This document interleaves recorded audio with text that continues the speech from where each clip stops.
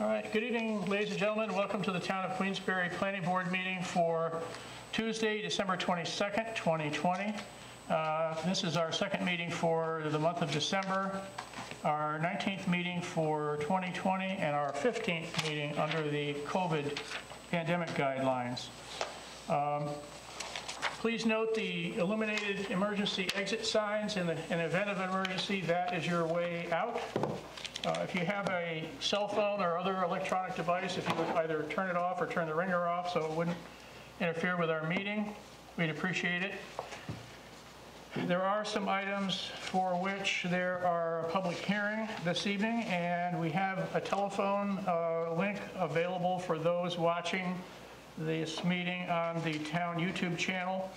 Uh, And I will remind people in the, uh, in the time where the actual public hearing is to take place, uh, but in the meantime, I'll just let you know if you want to jot down this number.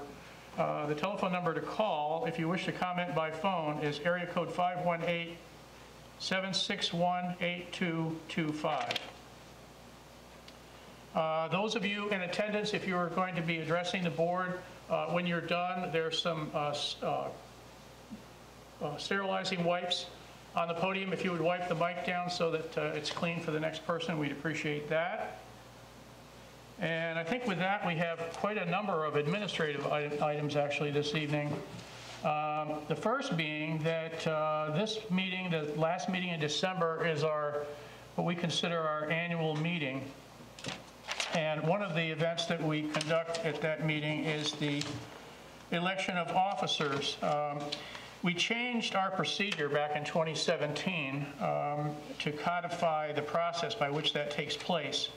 Um, The, there are three, three officer positions on the planning board. There's the secretary, vice chairman, and chairman. Uh, The planning board votes on the three positions. Uh, However, the position of chairman uh, is confirmed by the full town board, uh, typically at the first meeting of the board in uh, January, at their annual meeting. Um, One of the duties of the chair, which I am this, this year, is to um, check with the op- current officers in the month of November to see if they would be willing to serve another term. Uh, If they are, then those names are automatically put in nomination for those positions. Uh, But in addition to that, we also uh, accept nominations from the floor uh, for those three positions. So I'm happy to report that uh, David, Chris, and myself are all ready, willing, and able to serve another year in our, uh, in our positions as secretary, vice chair, and chair respectively. And at that point, I will open the nominations for the, from the floor for any of those positions. Are there any nominations for secretary, vice chair, or chair?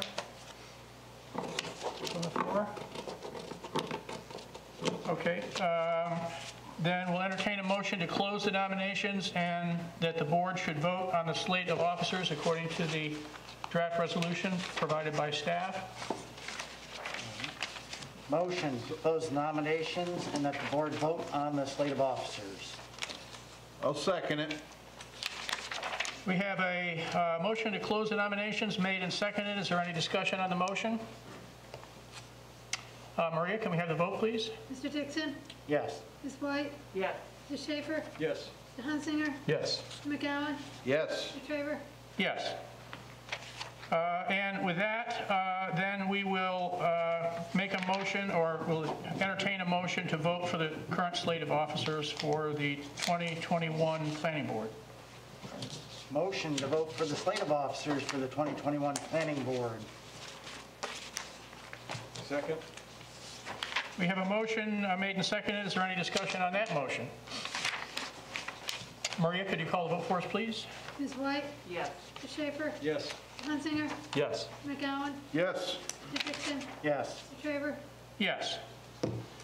All right, so we've taken care of that business. I would just like to comment uh, particularly to David and Chris. David isn't with us tonight, but uh, I I just want to express my appreciation for all the the hard work. I think we we did well this year. We handled some interesting projects and uh, processed them well. As far as I know, we have no uh, complaints, formal complaints or litigation uh, based on decisions that we made during the year. So that's, they say any year you can walk away from as a planning board is a good year, right?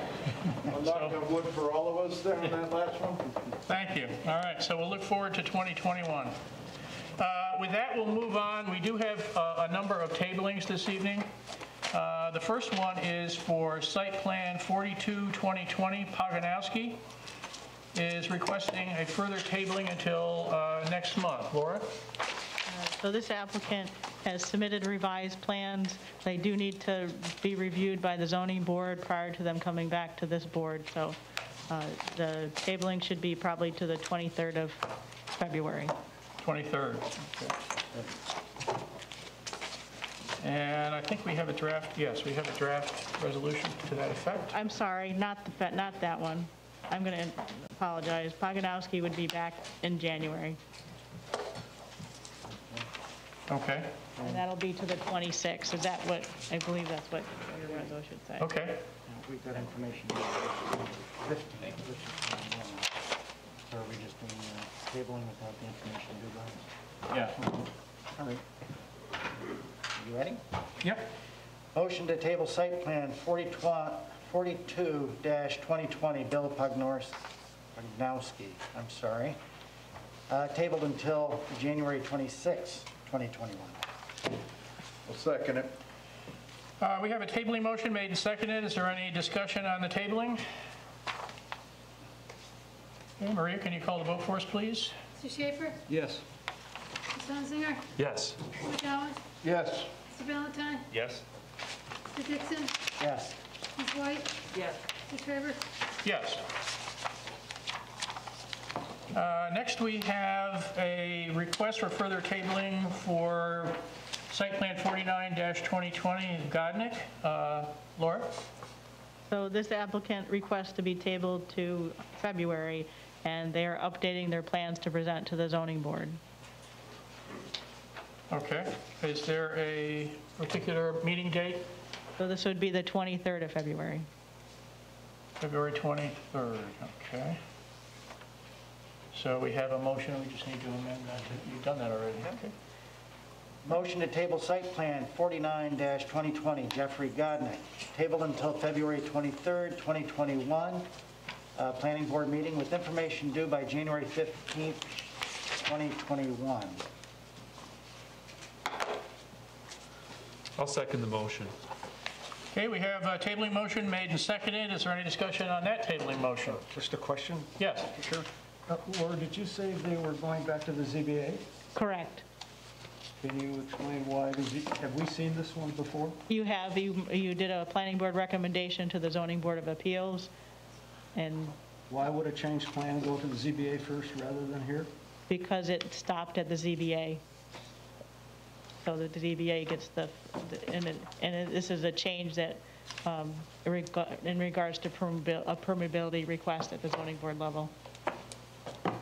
So we will see it again as a site plan?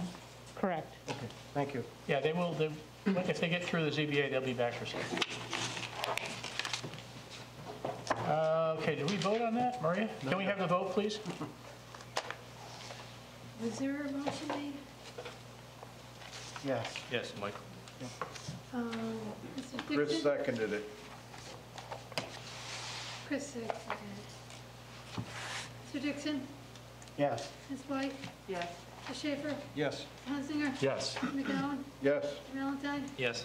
Mr. Traver? Yes. Next, we have a request for further tabling uh, from Hartman for Site Plan 21-2020. Uh, Laura? So this applicant, as maybe you remember, this applicant did, did not attend the planning board recommendation stage of the review of the application. However, the applicant has experienced some other hardships, so they've asked to be tabled to March. And so I have March 16th of 2021. Okay, do you get that? Yep. Okay.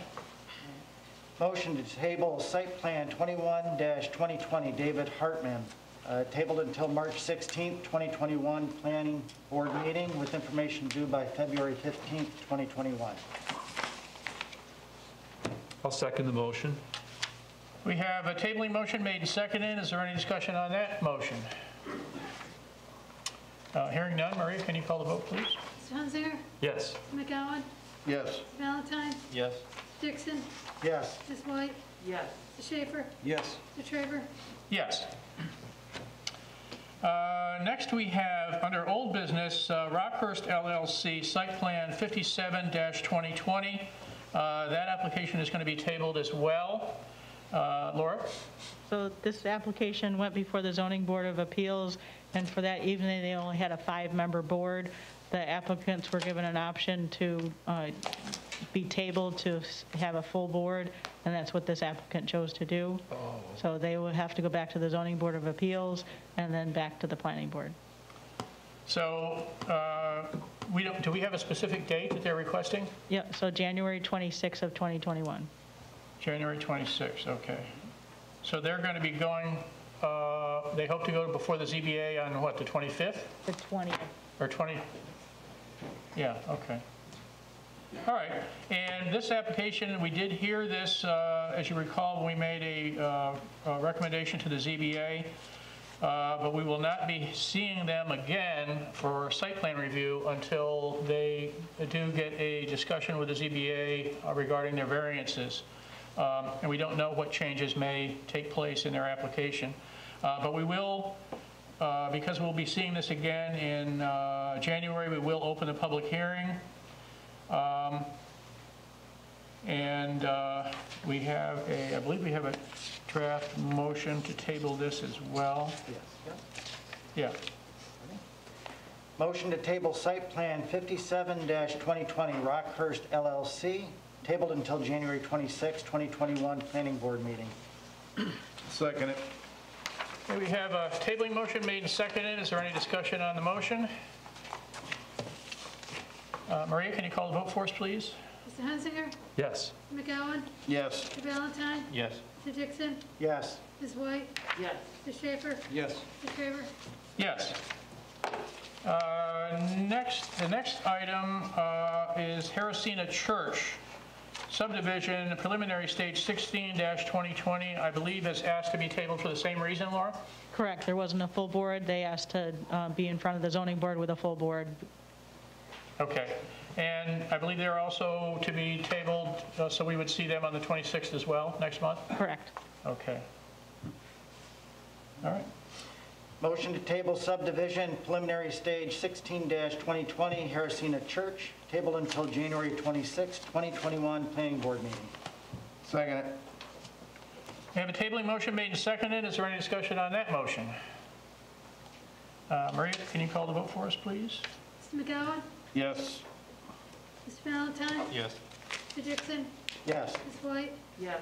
Mr. Schaefer? Yes. Mr. Hunsinger? Yes. Mr. Traver? Yes. Uh, Next, we have another uh, tabling request from uh, Joseph Lucy, Site Plan 56-2020. Laura? So this applicant is being requested to be tabled because they're making some changes to the plans, and they, uh, February 16th. February 16th. Sounds like January and February are going to be interesting months. All right, uh, and we don't have a draft resolution for this, I don't believe, but uh, it's a straightforward tabling. All right. Motion to table site plan 56-2020 Joseph Lucy to the February 16, 2021 planning board meeting. Second it. We have a tabling motion made and seconded. Is there any discussion on that motion? Uh, Maria, can you call the vote for us, please? Mr. Schaefer? Yes. Mr. Hunsinger? Yes. McGowan?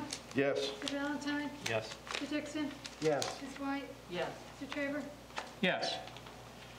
And la- last but not least, um, we were alerted also that Foothills Builders uh, subdivision sketch plan 2020 uh, ha- was on our agenda for this evening, and uh, they are not going to be uh, doing a sketch plan discussion with us tonight. Uh, Laura, I don't know if you have any additional information. I know you're you're going to let us know when they are prepared to get back on the agenda for discussion. Correct. They need to work some details out with DEC and uh, possibly some departments with the town, and then they'll uh, provide an updated plan potentially and be back in front of the board. I don't know at what time. Right, okay. Uh, But we don't need a tabling motion for that because it's just a discussion item. Correct.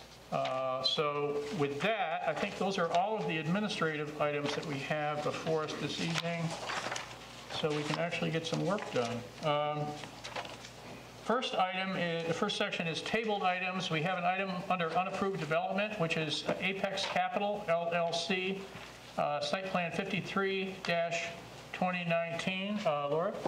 Right, so tonight's agenda, we, we had this project back um, in September of 2019.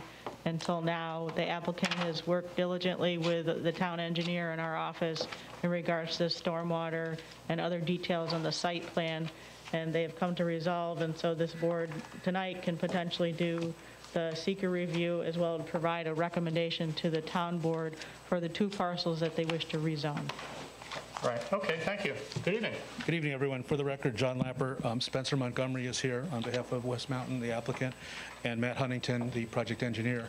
Um, Before COVID, we were here a bunch, and then we got delayed. Um, obviously a more important project because it's something that you can do outside safely. Um, There's always been a parking problem, so they acquired the two lots along West Mountain Road. Um, Since the last time we were here, as Laura mentioned, Matt went out with the town engineer, um, Jason, and uh, did a site visit, site walk, and came up with some stormwater modifications, which we submitted. So we're hoping that at this point, you're ready to do SEQR, because you're SEQR for both you and the town board. Make the recommendation to the town board so we can go for the rezoning on those two parcels, um, and then come back and finalize the site plan with you after the, after the rezoning. Um, two lots would be recreation, commercial in front rather than moderate And density. this is specifically for the uh, alterations to the parking area, right? Correct. Okay. All right, uh, Let let me correct that. There's, the zip line is no longer part of the project, but there are also were some modifications for the mountain bike trails, which is still part right, of it. And yeah, which some- is, I think, the pre-existing non-conforming uh, development, right? Yes, there there were some minor changes to some of the paths, and and that required a little bit of stormwater. Okay. All right, uh, questions, comments from members of the board? We're looking at SEQR, and uh, if the board is comfortable, we would make a referral recommendation regarding uh, the town boards uh, making a, um, a change to the uh, zoning. I'm happy to move forward. Okay?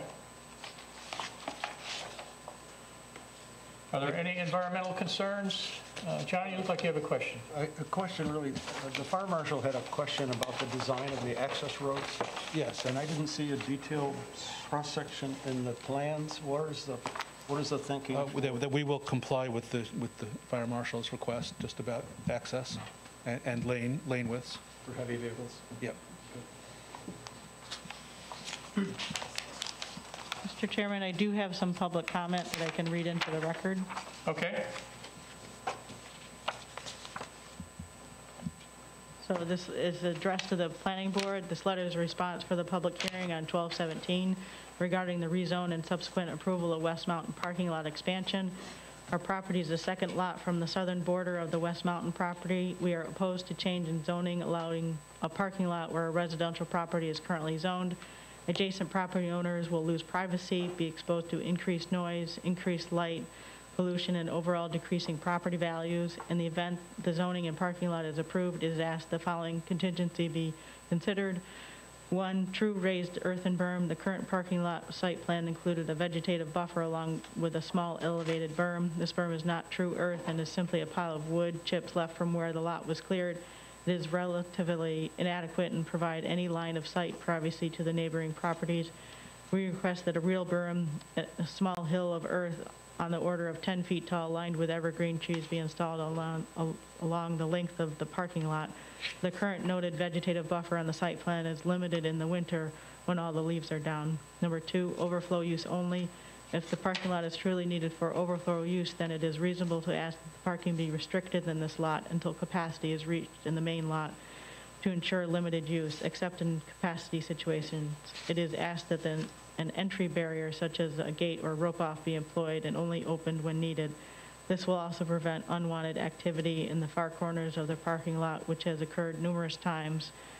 Uh, Number three, lighting. If it it is requested that parking lot lighting only be used or turned on while the parking lot is used. Also, lighting that only illuminates down and light the parking lot is requested as opposed to flood lighti- lighting that shines into neighboring properties.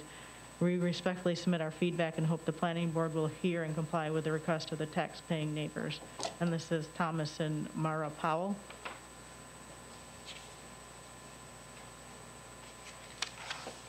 Um, This is also addressed to the planning board. We are writing an opposition to the application of 53-2019 for zoning re- reclassification. Currently, we are property owners and residents at 10 Afra Circle. We purchased and had our home built there in 2018. To give a brief background, we purchased, the- built this home with the intent of living near the ski operation. Our family frequents the mountain during the wintertime. We also see the need for business to thrive and be profitable. This mountain is a large success a source of revenue for the town, and we'd much rather live near a successful business than a failing one.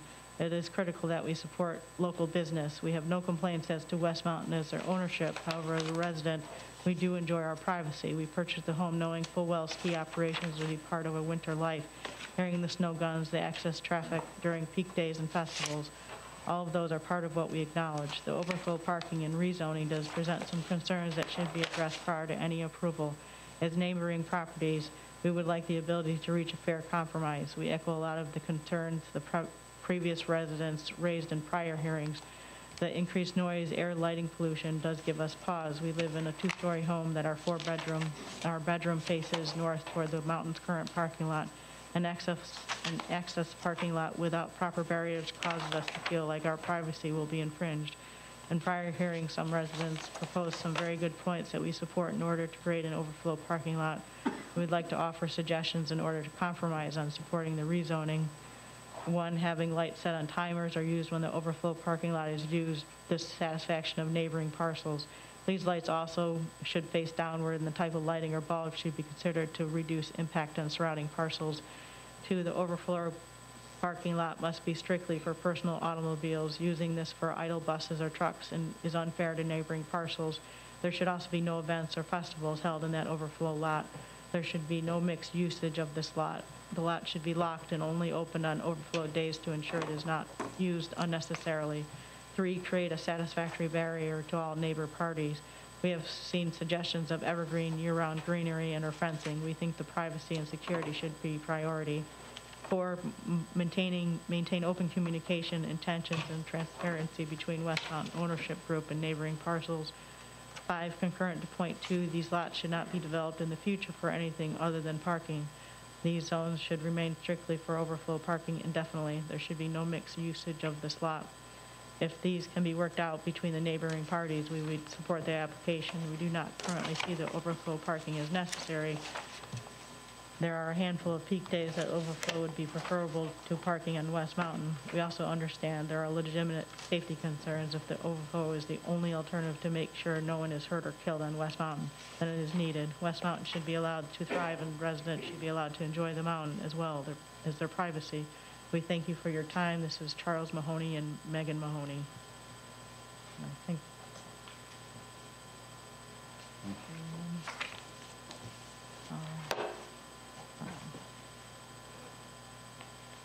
And that's the only two comments I have.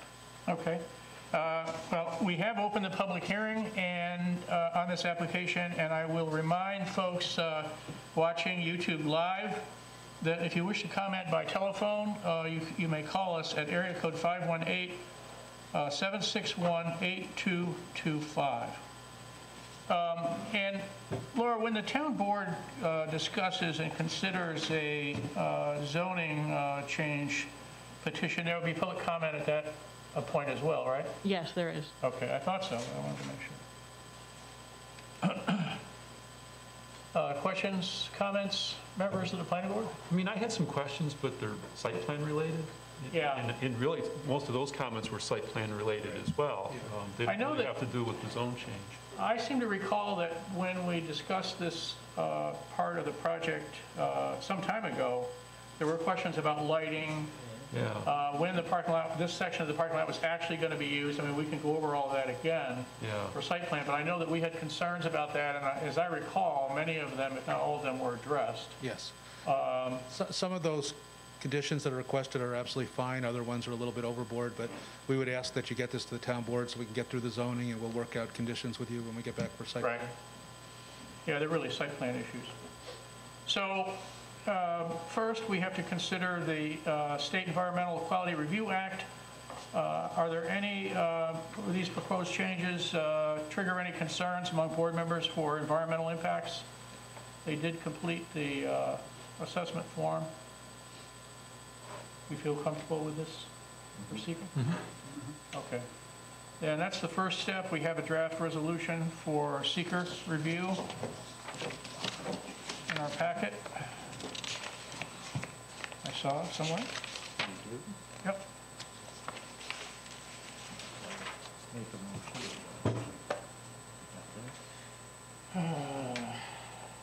Yeah, part, um, yeah, part three, yeah.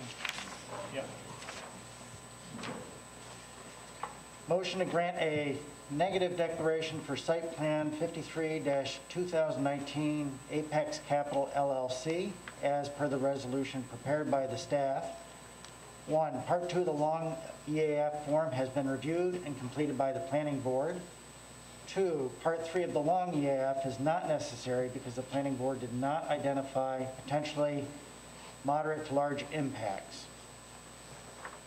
We have a SEQR resolution. Do we have a second? Second it. Any discussion on SEQR? Uh, Maria, can you call the vote for us, please? Mr. McGowan? Yes. Mr. Valentine? Yes. Mr. Dixon? Yes. Ms. White? Yes. Mr. Schaefer? Yes. Hunsinger? Yes. Mr. Faber? Yes. All right, so next we consider uh, the request for the zoning change. Uh, The town board is asking us, uh, much like the ZBA does when we review variances, they're asking for uh, a recommendation uh, to the town board regarding uh, our feelings about the uh, the rezone uh, request. They're asking to go from moderate density residential to recreation commercial for the overflow parking area. Questions, comments for the representative on that issue? Concerns? How do board members feel about the request for rezoning change? Is that something that we feel comfortable supporting? Okay. All right. Uh, Then I believe we have a draft resolution, uh, again, much as we have for the ZBA referral that we make in our packet. Motion for recommendation to the town board as favorable for zoning request from MDR to recreational commercial. I'll second it. Okay, we have a referral resolution uh, made and seconded. Is there any further discussion? Uh, Maria, can you call the vote for us, please? Mr. Valentine? Yes. Mr. Dixon? Yes. Ms. White? Yes. Mr. Schaefer? Yes. Mr. Hunsinger? Yes. Mr. McGowan? Yes. Mr. Faber? Yes. Maria, did they close? the- Thanks, everybody. Well, Hopefully, we'll be back soon to Oh. get this Mr. finalized. Chairman? Jonathan, do you want to introduce? well, we still need, Uh, Mr. Chairman, you still need to close the public hearing. I'm sorry? You still need to close the public, Oh, yeah, my apologies. We'll close, close the public hearing. Thank you, Laura. All right, let's see. Next on our agenda, we have uh, Happy Penelope. holidays, John. Are you staying? You gone? Wait, wait, wait, your gift or what? Yeah. Well, I was, but he usually leaves it by the door on the way out. Next on our agenda, we have Penelope Townsend, uh, site plan 59-2020. Uh, Laura? okay. So this applicant proposes to remove the existing garage of 573 square feet and construct a new garage of 676 square feet. Uh, This project will have a a floor area of 1,352 square feet, and that's due to having storage above. The garage height is 22 feet, and the zoning board granted that height relief. Okay. Thank you. Good evening, welcome back. Good evening, Board. Tom Hutchins on behalf of uh, owner applicant Penelope Townsend, and uh, the- our builder Doug McCall is also with us. Um, We were here last week, we talked about this in general. What she proposes to do is replace a a failing 22 by 26 dimensional garage with a 26 by 26 garage, so it will- it will, it'll grow by four feet. Uh, The proposed garage will, will uh, be in essentially the same footprint. Obviously, it'll be a little bit bigger because it's four feet wider. Um, She's done a wonderful job restoring this early 1900s property.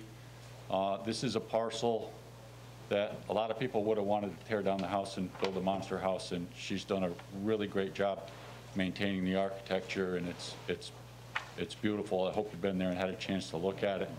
Uh, This garage will be matching in architecture. It'll look, look the same as the house with the shakes up high and the horizontal siding low. Um, It will be connected to the house with an open walkway out the back of the garage, which won't be visible from the road, but it will allow a connection to the residence. The, the, the septic system is modern, the house is buffered maybe as well as any property that, any shoreline property that I've worked on. There's, there's, uh, maybe not hundreds, but there's tens and tens and tens of mature trees surrounding the property. Um, So with that, uh, uh, we'd look to your support for, for site plan, and I'll take any questions. Uh, it- Were there any uh, changes to the plans uh, based on your discussion with the ZBA No, from what we reviewed? no Okay. changes. I remember the discussion we had uh, with the applicant about the, you know, the moving uh, dishes and so on up and down the stairs. We had quite a discussion about the need for the second, uh, There wo- there is a storage area proposed above Right. this garage, yes. okay.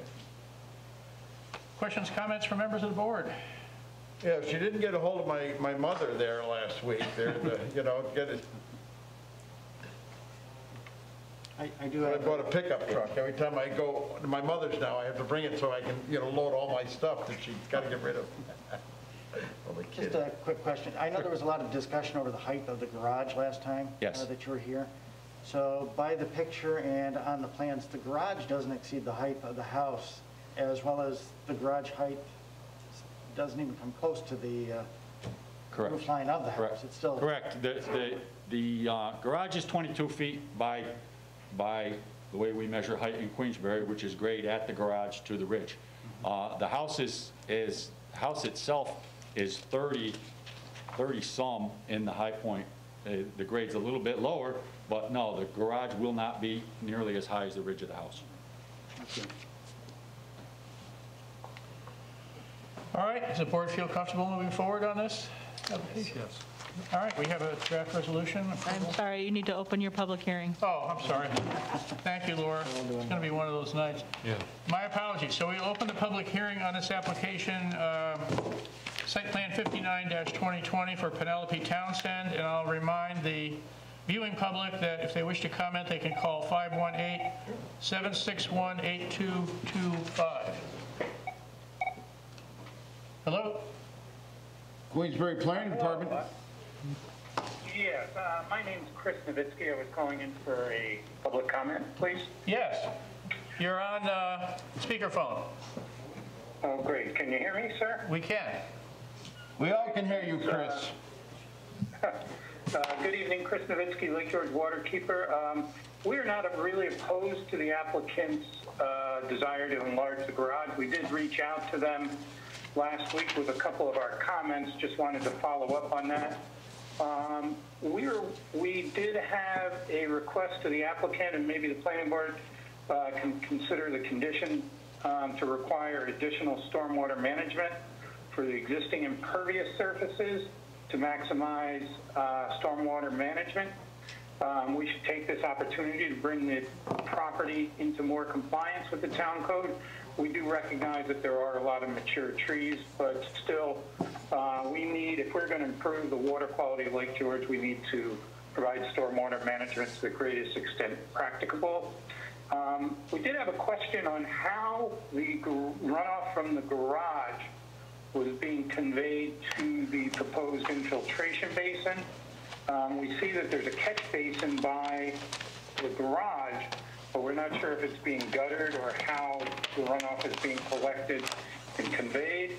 Um, The existing septic system is located right off the paved area near where the construction will be, and we just wondered if that could be protected during construction with some type of fencing or uh, something along those lines. So those were, were our comments and recommendations, and um, if there are any questions, I'd be glad to take it. Yes, uh, if I could, if I could just uh, ask, when you're, you're speaking about the, uh, the beginning of your statement on the stormwater, are you speaking about Yes. uh, strengthening stormwater beyond that which is required by the town engineer for sign-off? That, that is correct. We were asking, they simply have to provide stormwater for the new impervious that's proposed, but there, there's a lot of impervious on the site that is not managed, to my understanding. Um, and if we could try to capture some of that, that would improve and reduce the water, stormwater runoff running towards Lake George. Okay, all right, It, it is above and beyond. okay.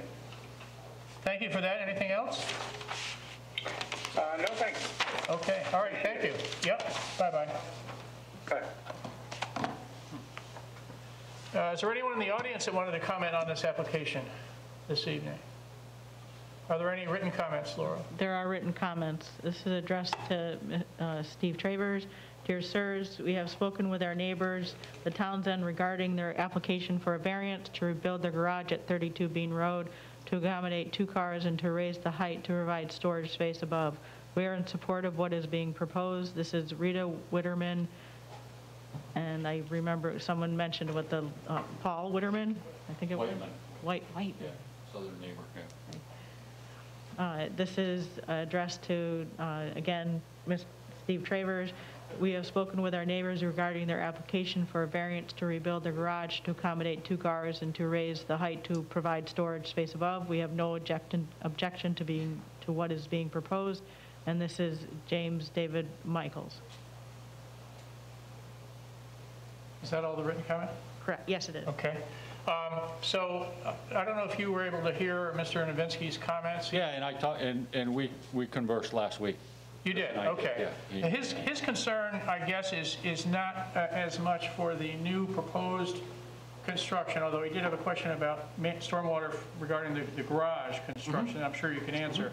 But he, he pointed out that there's pre-existing impervious uh, areas on the property, and he's wondering, while you're doing all the stormwater, could you try to address the stormwater management with regard to the pre, pre-project impervious areas? And and certainly, there are, there are a number of stormwater controls presently installed around the existing house, most particularly uh, with regard to some, some recent work that has been done. And, and the remainder of the site is, is very well managed naturally. There is, there is not, uh, there's not a stormwater runoff issue, there's no concentrated runoff uh, emulating from this property at all. It's wooded, it's natural, it's totally vegetated.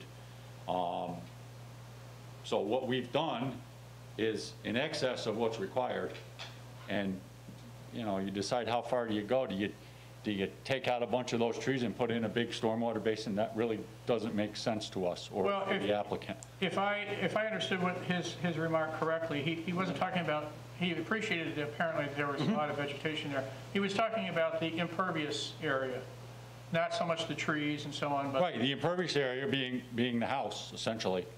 Um, Everything down gradient from the house is a natural vegetated area with large growth, growth trees. The, the portions of the house that are recently constructed, there are stormwater controls. There's, there's eaves trenching and there's, Okay. there's uh, splash pads and, and stone areas. So we're quite comfortable that, that it's reasonably well managed. The existing impervious is reasonably well managed, and, and we are taking provisions to, to manage the new areas Right, so I can. as required. Yeah, so I've talked to Bruce Frank, who's our code compliance officer, and this project was subject to review back in 2019, and those, uh, so Bruce is on site inspecting those changes to the renovations to the house and to the property, and part of the requirements is to have a certified site plan at the end, and Tom is working on that, so. I see, okay, good, thank you, Laura. Can can I go back? You- you- Yeah, Last time, I had mentioned before about you guys having a conversation in the back, and you, the two of you had a conversation now, and you're telling us that you had a discussion. Does he agree with what you were telling us now about that, or is there still? Well, I, I don't know, he sent, we had an email conversation, okay? Uh, Following our last meeting, he sent me an email and we corresponded with it. I shared his concerns with the owner and, uh, I mean, we're willing, we're willing to address it. Um, But to, to uh, install a current stormwater control for the entire house, the way we do it today typically, is you build an infiltration area, um, we don't feel it's, we don't feel it's necessary, and it's not required. There was also, in public comment, concern raised about the, uh, protecting the septic system during the construction phase. Yeah, we're very cognizant of that. Okay, Uh, the- the- the- In fact, I've had the conversation with, with uh, the contractors recently that, that we have to be careful around the septic system, and we know, we know that we're fairly near it with, with our construction, and, Right. and that will be a priority. okay. Other questions, comments from members of the board? You're gonna be pulling that water away from the garages, you know, really that could, to come on the, uh, say the, what, the east side? And the back side? East side, yeah, that, that's all gonna go to the stormwater area. Okay. By Very pipe, well. I mean, we don't always like to use pipes, but in this case, we have to use pipes because there's gonna be a wall there. So it'll be captured and, and piped beneath the wall alongside of the garage. Okay. Uh, Let's see, did I close the public hearing? All right, and we will close the public hearing. Uh, Additional comments, questions from members of the board? You heard the discussion on the uh, stormwater and so on, or do we feel comfortable moving forward? Yeah. Okay, we have a resolution, I think. Motion to approve site plan 59-2020 Penelope D. Towns Townsend, according to the draft resolution prepared by staff the following. One, waivers requested or granted. Two, the approval is valid for one year from date of approval. Applicant is responsible for requesting an extension of approval before the one-year time frame has expired. Uh, if applicant has not yet applied for a building permit or commenced significant site work. Three, adherence to the items outlined in the following, I'm sorry, in the follow-up letter sent with this resolution, including items A through K. We have a resolution, uh, motion made, do we have a second? I'll second. Uh, Any discussion on the resolution? Maria, can you call the vote for us, please? Mr. Schaefer? Uh, I will abstain. Mr. Hunsinger? Yes. Mr. Magowan? Yes. Mr. Valentine? Yes? Mr. Dixon? Yes. Ms. White? Yes. Favor? Yes. You're all set. Tom, Thank you very probably much. don't want any of these, do you? Uh, no, I don't need them. Even to wrap a couple Christmas presents with? Thank you, Board. Thank you.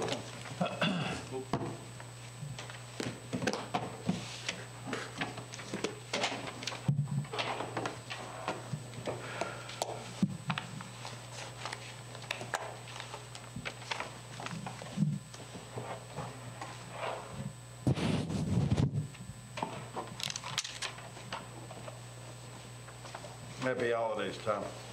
Thanks, you too, folks. The next item on our agenda is uh, Bonnie Rosenberg, Site Plan 58-2020. Laura? Okay, so this applicant proposes to construct two residential additions. The north side addition of 64 square feet is on the upper level, and the south side addition is two stories at 370 square feet with a footprint of 740 square feet. The zoning board did grant the relief for shoreline setback and the side setback and floor area. Okay, thank you. Good evening, welcome back. Thank you. Uh, I'm Dennis McElroy from Environmental Design, representing Bonnie and Stuart Rosenberg for this uh, application for site plan review. As uh, indicated, we have been uh, to the Zoning Board of Appeals and received the necessary relief and variances that had been requested. Now, we're here for the next step in the process is the site plan review. So the project, as previously discussed, this is 73 Knox Road. It's a property that uh, is toward the end of Knox Road. Uh, The Rosenbergs have owned this property for 35 years, have reached retirement, would like to live here on a permanent or a primary basis, being their primary residence. They- they proposed to make some improvements, which resulted in a couple of additions to sections of the house.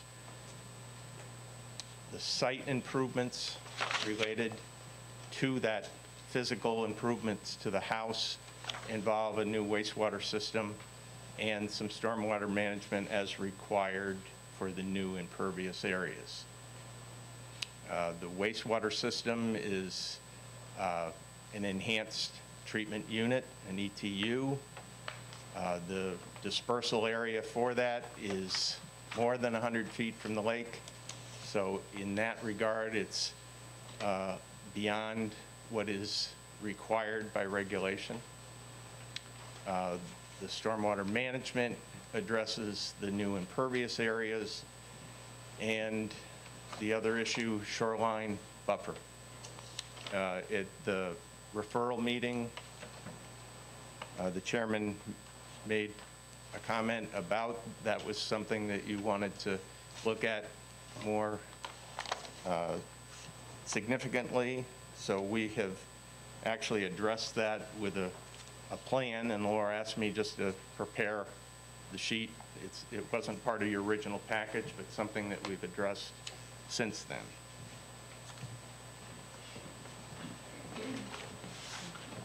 Thank you, Dan. Thank you. Good, I got it. Well, obviously, you got those pictures before Friday. It's easier for me to see than that. See, that, if you have this, though, Yes, certainly. Uh, It actually, it's the same Plan Sheet 7 that you had in your packet. We've just supplemented the planting in certain areas on the site to be, uh, let's say, more in keeping with the buffering uh, requirements. I- I'd have to say from practice now, from application, that, that's a relatively new provision in the ordinance, a little over a year, and you've had experience with it already. I think that there's some inconsistencies in what it says. The practical application of it is, is, is going to be something that you'll deal with from here on. Uh, I won't, because I am really retiring. I am- I am We've retiring. heard rumors of that. Yeah. Well, good for you. I, I've, it- it- that happened two years ago, actually, so, uh, but in some cases, I've been involved with projects. The Rosenbergs happen to be neighbors and friends, so I am assisting in that effort. That stormwater buffering or shoreline buffering provision, while well-intended, is a bit inconsistent in what it's requiring, and I think that you've experienced this already, might be a little, uh, uh, the densities required might be a little, are significant. So we've, we've prepared a plan which addresses some of the additional plantings, just so that it would be something that could be before you, and perhaps that will be adequate. And the owner certainly is uh, willing and interested to provide additional plantings in that area. But even when I went through the pre-application meeting, there was still a little bit of uncertainty as how to approach this the mathematical requirements of that ordinance. Well, the, uh, the, really, the intent is the environmental protection of, of the lake. That's, that's kind of what you keep in mind when you're thinking about numbers and calipers and all these kinds of things. I know that can get a bit into the, excuse the pun, but it gets a bit into the weeds. But the intent of it is to try to enhance the buffering to protect the, the lake quality. Um, So we appreciate that you have uh, made an effort to, to address that, and thank you for that additional material. Um, While we continue discussing, I want to um, also uh, open the public hearing and alert people that are watching on the YouTube channel that if they wish to comment by phone, they may do so at area code 518-761-8225. And open it up for questions, comments from members of the board. Chris is probably gonna call. No, I, I thought this was really helpful, the shoreline planning's plan. Yeah. Yeah. I, I think it's, um, at least in my mind, pretty much what we had talked about. Yeah, that was the, I think, the main concern really that I had. There was, uh, although I should ask, were there any, in your discussion with the ZBA, did that result in any changes at all to what you discussed with us previously, other than the shoreline buffer? No. Okay, thank you. Mr. Chairman, I'll comment. I do like the, from what I see, is an improvement to the shoreline, an improvement to the wastewater, and a- an improvement to the stormwater. Those are all wins. Yep, Very nice. it looks like we're, Queensbury Department. Planning. Uh, Good evening. Uh, Chris Navitsky calling in with uh, public comments. yes, go ahead. You're on speakerphone. Okay, thank you. Um, I didn't want to cut off the uh, planning board member that was speaking. I apologize for the call in at that. You're getting good at this, Chris. That's all right. We're, we're, as you know, this is part of the, uh, the COVID uh, procedure, so it's a little bit awkward, but we're trying to do the best we can. I, I know, I'd rather be there in in person, and I went last week and couldn't get in the building, so. And I, I know there's others at times that have tried to do that, so keep me out of the building, that is, so. Anyway, um, again, Chris Navitsky, Lake Waterkeeper, uh, we'd like to recommend more mitigation measures, and, and I appreciate the submission that had come in. Obviously, uh, haven't had a chance to take a look at that, but, um, so some comments may be addressed, but really, for this project, uh, that's located in a critical environmental area, especially in light of the recent harmful algal bloom, the property exceeds the allowable and permeable by more than 60%, has steep slopes, and really has no current stormwater management. Um, There's also some questions on the new septic system. We appreciate that it is a hand system, but it's also a fill system that is being put on steep slopes. So um, we feel that the stormwater management plan does not capture and treat all runoff from new impervious surfaces. And as it was stated, it is a minimum. I think that is supported by the town engineer letter. Stormwater management should be greatly expanded for the existing impervious surfaces to offset the existing impacts of runoff. Um, I had an on-site meeting with the applicant to discuss various options, um, which would include eliminating impervious surfaces, installing additional rain gardens, and installing porous pavers and grass pavers. Um, Again, this project is 60% over impervious allowable, and there's also exhibit areas of erosion. No test pits have been provided or percolation tests. I think this was noted by the town engineer as well. Um, Shoreline buffer, um, according to us, failed to meet the requirements, but that's been resubmitted. Um, You know, I, I, I'm surprised about statements on inconsistencies. This was approved, went through a, a serious uh, committee process. I think it's pretty straightforward about a three-tiered approach for canopy approach for the buffer to protect the lake. Um, uh, it's really straightforward. Um, and we, we think there should be a determination on whether the uh, wastewater treatment system meets the requirements of Chapter 136. Um, unfortunately, determinations for the septic systems apparently aren't made till later in the process, but it says nat- built-up systems, which this system is, should not be on slopes more than 10%. This is on 16% slopes. It says that these, there should only be absorption fields. This is an absorption bed.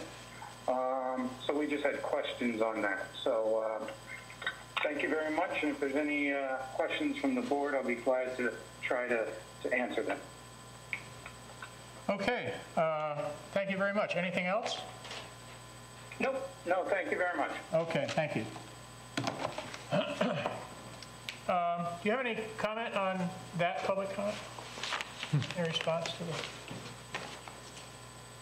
There was- seemed to be some question about the uh, compatibility of the, of the waste treatment system. Well, that's really a Board of Health issue, right, Laura? It's either, it's, at this point, Dave Hatin has reviewed this, and it's found to be compliant. There's obviously other review processes that need, the applicant needs to go through for the septic. Okay. But At this point, it does not need a variance under Right. Dave's review But it does need review and approval, right? by the Building and Codes Department. Right, Right. okay. Could I just add a comment about the technology involved? Sure. This is a, uh, an enhanced treatment unit or qualifies as such according to the New York State DOH. It's a Pure Assist sequential batch reactor. It's a little different technology than maybe you have seen. You've heard of Claris, you've heard of Peat Systems or whatever. This is the sequential batch reactor, and that technology is something that's been used on a municipal level for decades. In fact, the Lake George Village Treatment Plant is that technology. There was a, there was a concern, um, and, and I don't want to present as knowing anything about these systems, but there was a concern voiced that, something about the slope that the system was installed on. Can you comment on that? This- This will be a cut and fill situation. Um, It's, it's something that we've uh, addressed before. Uh, It is something that the town has found to be acceptable. Laura has indicated, Dave has looked at this. You know, the challenge we face on, on some of these uh, properties around the lake is that they just, they don't fit into exact parameters of a subdivision type lot, for instance, or that. So we're dealing with trying to come up with a solution that is uh, compliant to an extent, and if not, a variance can be applied for if you're not 100 feet from the lake or if you're not distance from the property line. But uh, in this case, it's, uh, I'm not sure exactly some of Chris's comments, but um, I feel comfortable with the design that we've provided. It is, again, an enhanced treatment unit. There's another comment I saw somewhere about 30% reduction of the field size, and that's not accurate. Because it's an enhanced treatment unit, it does get a 30% credit from a conventional system, but that's the design. That's what that enhanced treatment unit earns. I'll give you a numerical example. An Eljen system is a system that's been around a lot longer around the lake. 1999 was the original Eljen system built on Cleverdale. But they're very common because they take a smaller footprint in the field area, whether it's a bed or a trench.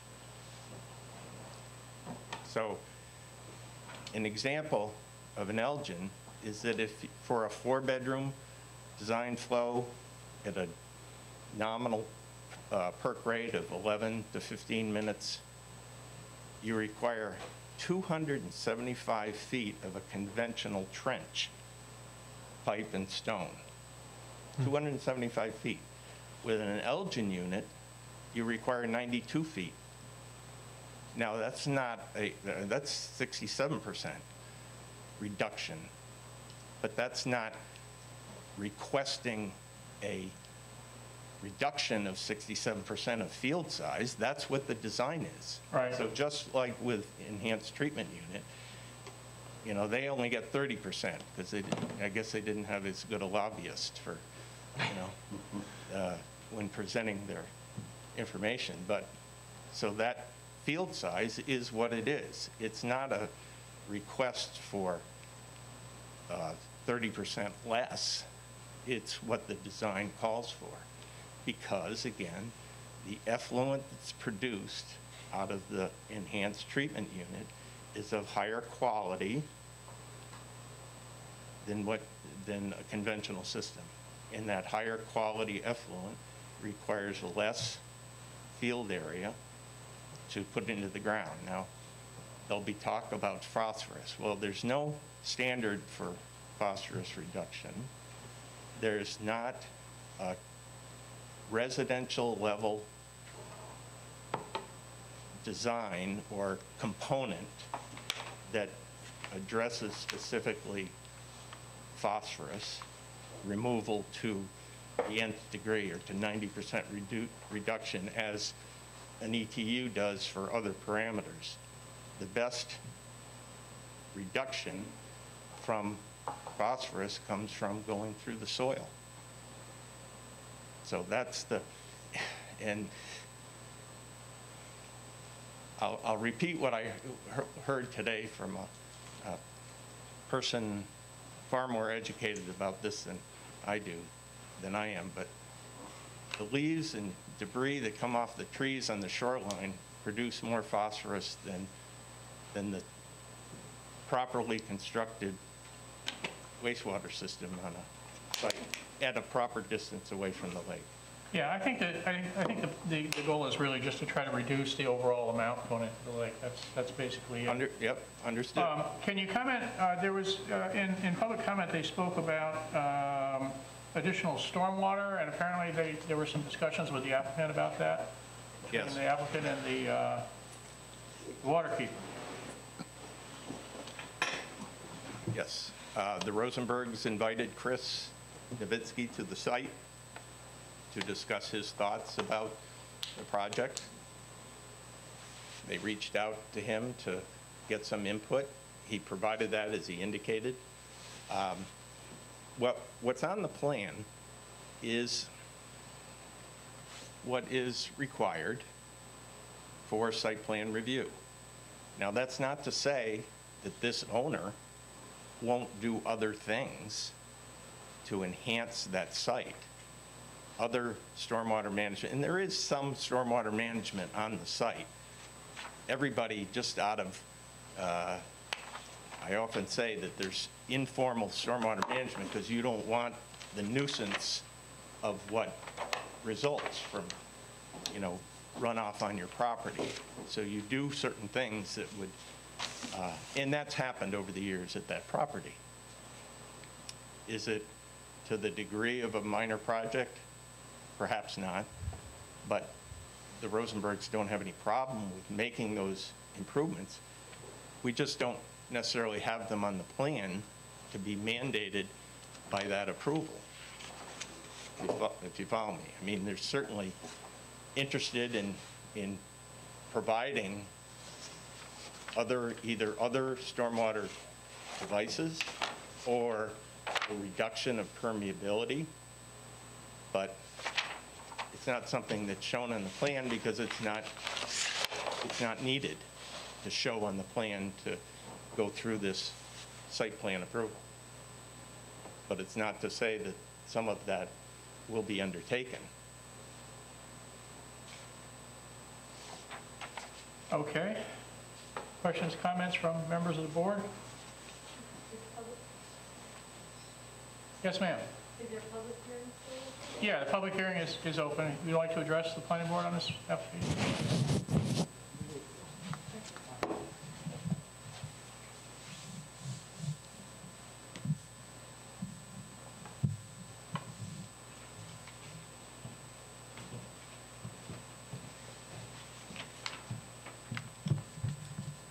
Hi, my Good name evening. is, good evening.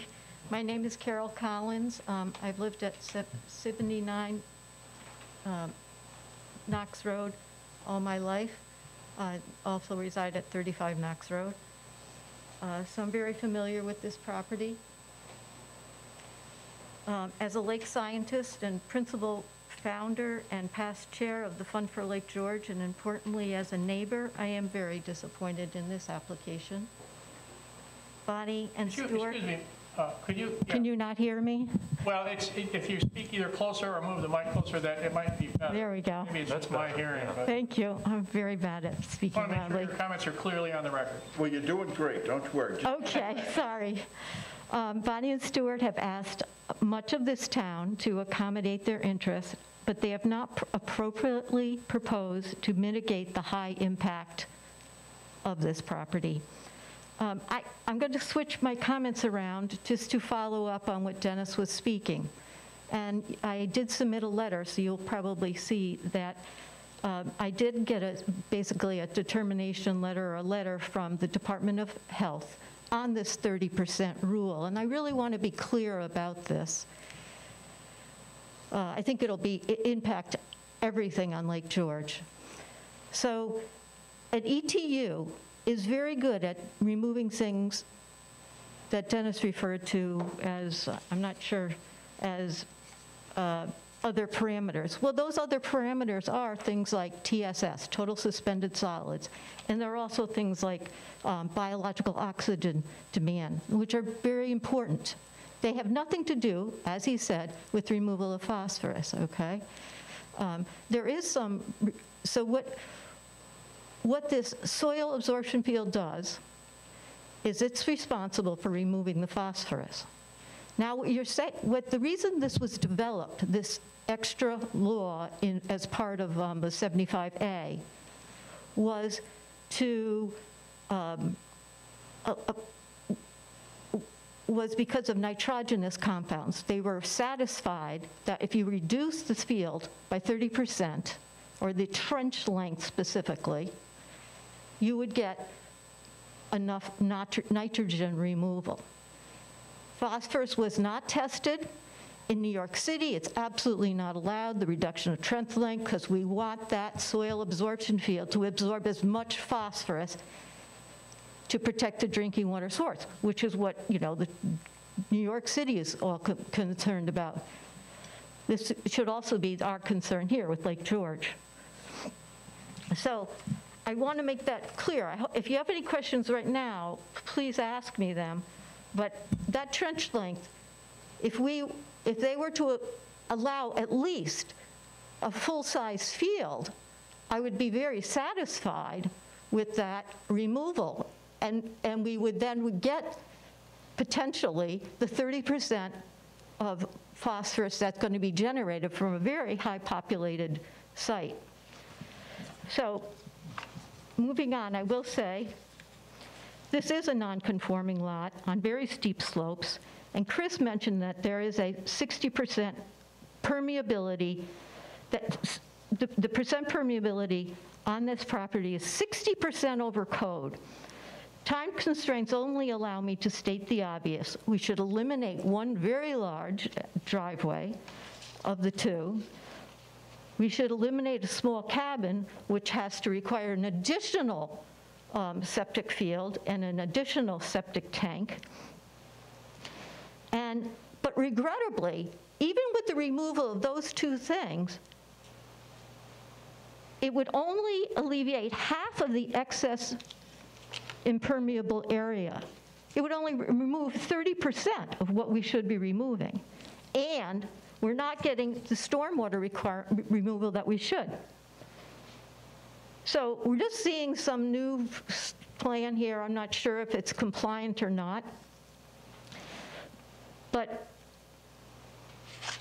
we must remember, stormwater is the major pollutant for Lake George, and two small swales that are minimally just treating this very new impervious area um, is not acceptable. The, the planning board has the option of requiring a major stormwater plan. If any site on Lake George requires one, this would be one that I would say you should require. um, the stormwater plan on steep and excessive slopes, slopes um, will remove about 60% of the phosphorus, 55%. In order to give, make this truly effective, is the reason we put in these storm, these uh, shoreline buffer plans. You can get, with an, with a compliant um, plan, you can get up to 100% more removal of phosphorus with a compliant plan along the shoreline. These are not big asks. They're getting, they're getting 854 new squ- uh, square feet of, of building. And they're not giving up anything. And I just feel that this is a thing where we could all work together and get a really good project. We put in better stormwater, which should be approved by you first and foremost, not just presented here at the, at the thing or given a promise, but we should be able to evaluate that plan. Certainly, the town engineer has asked for more information, and I think we deserve to see it and evaluate it. If you could wrap up your comment. I am, here it is. Quickly, Okay. minutes. Okay, uh, so basically, I I just want to say, given the, you know, the harmful algal bloom, it- it's a wake-up call, and it means we have to do a lot more um, on this site, especially in this bay, uh, and and protect our, the greatest resource we have in Warren County. And I do want to thank each of you for for paying such close attention to these matters. Thank you. Thank you.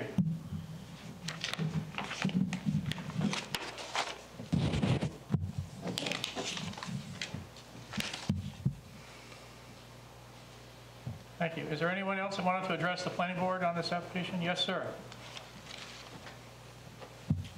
Thank you. My name is, my name is John Collins. I live at 35 Knox Road. I've been there for 20 years as a full-time resident, and then for the 22 years before that, I resided summers at 79 Knox Road, married to Carol. I want to uh, follow up on different issues that Carol raised, as well as expand on one or two. This is a non-conforming property, and normally, when you get proposals to expand a non-conforming use, there is a very rigorous review process here. And when you look at the letters of support from the neighbors, their focus has been on put in that new septic system, make a prettier house, make space that is more desirable to you. We're, we're in favor. I'm in favor of that. That's not my problem. My problem is expanding the non-conforming use without any mitigation of the other unique factors of that property that are uh, very severe. We've talked, a number of people have talked about the grade on the property. Um, We've talked about the imperviousness of the property. If you've been there or seen the pictures, there's a lot of pavement, and it's on the steep slope part of the property. Um, Proposal, Carol had mentioned about taking out one of the two driveways. The driveway to the north, my calculations, that's a 22% grade there that th- it's not used as the primary driveway, and it's definitely not used in the winter because the car will end up in the living room of the house. Responsible ownership on this lake, when you have a challenging property like that, is to address the issues and not turn a blind eye towards it. Dennis talks about the unique factors of this property. They are unique and they are challenging and they've been in existence since the Rosenbergs acquired the property. But now they want to expand their use. They need to do something. They need to address uh, these challenging aspects. So I've mentioned the driveway. You remove that north driveway that's unnecessary. You, you improve the, uh, or reduce the impervious soil. You, um, uh, in addition, I am proposing, and I've written a letter on all this, I'm not regurgitating everything in the letter, taking down the small cabin. Gee, why would I do that? Well, with this expansion, this property just went from a total of six bedrooms to seven bedrooms. That means more people. And when you look at the proposal, it talks about a small change in the FAR. Well, the FAR, as a calculation, equates living space and open deck area. The living space went up by over 800 square feet. To put that in perspective, that'd be like adding another of a lar, of one of those large cabins on that property. So if we were to remove that cabin, it would reduce impermeability, it would provide um, uh, alternative expansion area for the septic absorption field, and keep the bedrooms at the current six-bedroom rate. Now, Can I ask you to finalize your remarks? Yep. Uh, The other thing, I would uh, ask that they, as a condition, there be either a restriction in the deed or a- uh, an agreement that runs with the land that prohibits the cabins from being rented. The zoning board, in, in the meeting there, they had a real concern about that, but they didn't feel they had any authority over the rental of that property. The Rosenbergs have said they don't intend to rent, but we don't know what's going to happen in the future.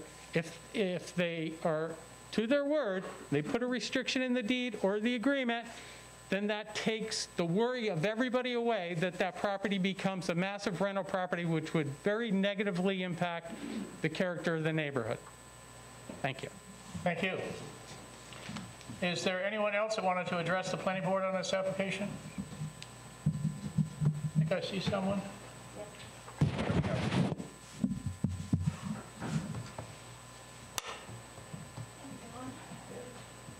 Yes, ma'am.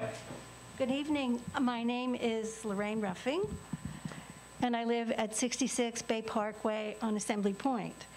Um, As uh, the two previous speakers have said, the planning board is being asked to allow an expansion on a one-half acre lot, uh, which has been overdeveloped for years with a main house and two cabins. This is probably one of the most precarious properties on Assembly Point. First, there is a very steep slope. Estimates are around 16 to 19 percent, coming off of Knox Road. Second, the property already exceeds the allowable uh, impermeable area by 60 percent. If the planning board agrees to the site plan, there should be a quid pro quo. At the very least, one of the two paved driveways should be eliminated. I don't believe it was mentioned before. There are two entrances to, to this house. Yes, There- ma'am, we've received comment on the, on the driveways and the extra cabin, so if you could give us Okay. new information, we'd appreciate that. Okay, well, um, I, uh, lastly, I I guess I'd like to engage in a bit of nostalgia. This is the first place that my family summered on Lake George, and at that time, we rented the main house, and the owners remained in the two cabins uh, in back. The bay in front was ideal for small children.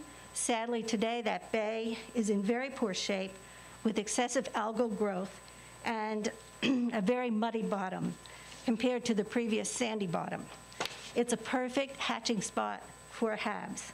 Therefore, it's critical that the uh, pervious area be increased and the stormwater runoff mitigated, and a robust buffer is called for. So I ask that you request two conditions. Eliminate one of the steep driveways and install a very robust shoreline buffer. Thank you. Thank you. Is there anyone else that wanted to address? Yes, sir. I see a hand up.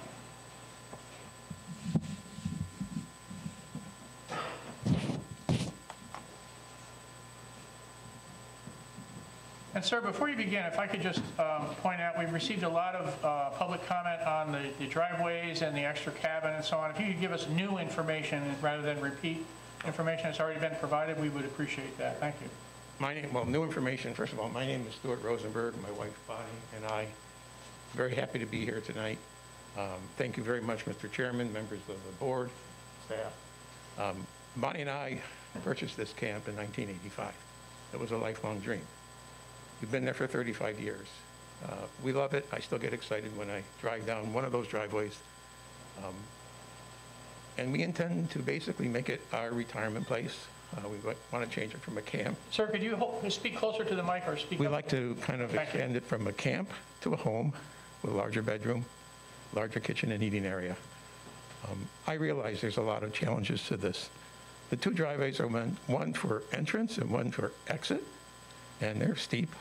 And taking away one driveway, um, one is very circuitous, would not allow any trucks to come down for construction, per se.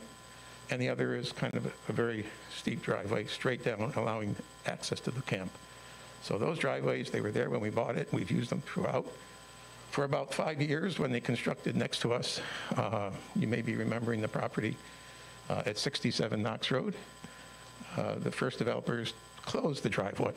Uh, They blocked it off from us, and we had a difficult time exiting our house from the driveway because the carriage of my car would hit the, the road as we came by. So it's really helpful for us to have the two driveways.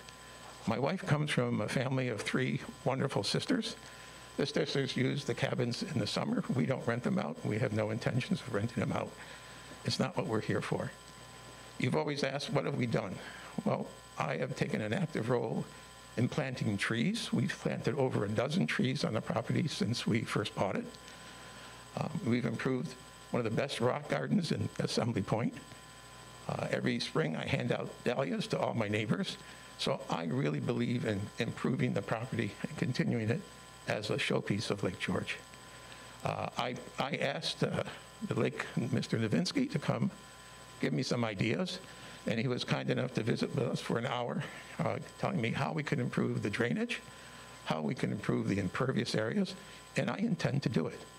We'll use, we'll use the permeable pavers on the flat areas. We'll put in catch basins by the driveway. We have a lot of ideas how to make the, the property compliant and Would you be healthy. willing to, would you be willing to add those to your plan? Yeah, sure, So that we have an idea of of exactly what you have in mind? sure. Be And then happy you could be given a period of time during which you could actually have that done, I'd be happy to. I'd be happy to. okay?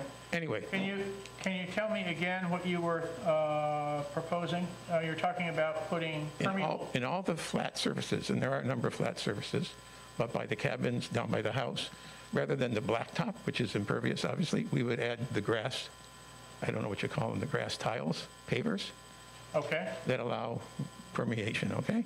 So removing the blacktop, We- we're- intend to remove as much blacktop as I can possibly remove. Obviously, for the steep areas, we can't. But in the flat areas, we would remove the blacktop. I don't like it as well as anyone else. Um, What else? By the base of the steeper driveway, we would put a catch basin there. I've stepped out in the rain. I know where the runoff is. I know where the problem is, and I know how to correct it. And, and I will take it upon myself to do that. And we can include it in plans. I think uh, Chris has already included it, Dennis has already included it in plans, but we'll develop it even further if you require. So again, our intentions are to respect the lake as we've done for the last 35 years. And so you would be willing to modify uh, your application to reflect some, uh, another catch basin for stormwater management, uh, re- reduction of the uh, impermeable uh, blacktop to convert that to a permeable paver type? Yes. Yeah. Okay. Anything else? Well, we want to make it work, and we want to make it We healthy. can, we can uh, discuss it with your representative, I Yeah. guess. but- Okay? We appreciate that. It does, it does seem, it- and it sounds as though you recognize that it is a challenging piece of property. Uh, It's, it's uh, uh, been developed over many years, in some cases prior to the higher standards for stormwater and so on that we've developed. Uh, But we have often found with applicants, and it sounds like you may be one of them, that when you're undergoing these types of renovations and, and developing uh, new changes to the, to the property, it's the best time to, to do it properly. And, you know, what you have done, and, and uh, you worked with environmental design to uh, improve somewhat the shoreline buffering, that's, that's good. Uh, But it does sound as though there is a lot of concern, uh, predating concern, perhaps predating when you even owned the property, about the stormwater issue. And I'm sure you're well aware, living in the area, of the, the concern, the recent concern with the uh, toxic algae bloom, although I guess it turned out perhaps not to be toxic. But in any case, that's a, a developing problem that we're very, very concerned about. And that's why we, we have uh, traditionally made an effort to, to focus on the buffering, to focus on the stormwater management. Uh, So we appreciate that very much. Right. I, I share your concerns, and I will do those changes. Anything else? Thank you very much for being I here. have one question. Sure. If that's all right, Mr. Chairman. Sure, no, that's fine. Would you be uh, willing to entertain us removing one of the wooden cabins? That's a heartfelt question. Heartfelt because we have a wonderful family, and the family visits us every summer. Three sisters who are as closer than you can ever be close from California, Toronto, Montreal, and Albany. And how would I judge what sister to throw out of a cabin? You know, it just, it just, it's very, very difficult to us to consider removing a cabin uh, because we- we don't use it a lot. We use it in the summer for relatives. We use it occasionally on weekends for my daughter, who then gives us our grandchildren, and they stay up in the cabin. And uh, One of the effects, I think, with the, with the additional uh, cabin is the, is again, the impermeable. So if you're willing to, to do more with the stormwater management, that's going to mitigate not removing one of those cabins, I, I think. And, and believe me, that would be my priority. Okay. Good, thank you. Thank you very much for hearing us, and have a very peaceful, happy, healthy holiday. Thank you, you too. Thank you. Is there anyone else in the audience that wanted to address the planning board on this application? I do have some written comment. Sure, go ahead. Uh, I'll start with, this is addressed to Mr. Brown. Please include this letter to the record of the public hearing for both area variance and site plan review applications for the Rosenberg property at 73 Knox Road. I represent, I am representing my family property at 103 Knox Road, and as nearby neighbors, I would like to offer our support for the improvements proposed by their applications. I am aware of the variances required in the house modifications suggested. During their 35 years of ownership of their lakefront property in our common bay area, we have known the Rosenbergs to be considerate and conscientious neighbors and lake users. Their property and its use is certainly in keeping with the character of the neighborhood and would continue to be. The improvements proposed will not be a detriment to our neighborhood, and the infrastructure upgrades to wastewater and stormwater systems will only have a beneficial effect on the lake. Thank you for consideration of my comments, and know that we are in favor of the approval of the proposed improvements. This is Chris Winslow, 103 Knox Road. It's addressed to to Craig. We are writing in this letter in support of the Rosenbergs' application for variances at 73 Knox Road. We are summer residents of 79 Rock- Knox Road, immediately next door neighbor and, and to the north of the Rosenbergs. The Rosenbergs have always been good neighbors and good stewards of the lake. The setback variance from the shoreline that they are requesting is necessitated because of the longstanding location of the main house. As you're aware, this is not an uncommon, and there is no real way to resolve the setback. It is very positive that they are not proposing to encroach upon the existing setback from the lake at all. In fact, they are increasing the setback from Lake George by three feet with a modification to their deck that they are proposing. We believe that the modest expansion of their house that they are proposing is in keeping with the character of our neighborhood and will not be detrimental to nearby properties. We could not be more pleased with their determination to replace their wastewater system with a moderate, modern, state-of-the-art system and to improve stormwater control. As a trustee of the Fund for Lake George, I have been personally involved with the efforts of the Fund for Lake George to stimulate the replacement of aging septic systems and the improvement of stormwater controls to protect the water quality of Lake George. As you're aware, the fund has made significant investments in the town of Queensbury to support septic upgrades. We recommend the Rosenbergs for their stewardship commend the Rosenbergs for their stewardship regarding wastewater and stormwater control and encourage approval of these variances to support these upgrades. This is Tom and Renee West, and that's 79 Knox Road. This is addressed to Craig. My name is Stephen Ballas, and I own the property at 67 Knox Road in Queensbury. I'm an immediate abutter to the south of 73 Knox Road. I'm writing this email in support of the variances being proposed in the Rosenberg application. I feel the proposal is keeping with the character of the neighborhood and will not be detrimental to the neighbor- neighborhood or nearby properties. Further, that they are upgrading to the state-of-the-art wastewater and stormwater runoff mitigation system that will improve and enhance our beautiful lake. Thank you for attention to this matter. Stephen Ballast, and that's at 67 Knox Road.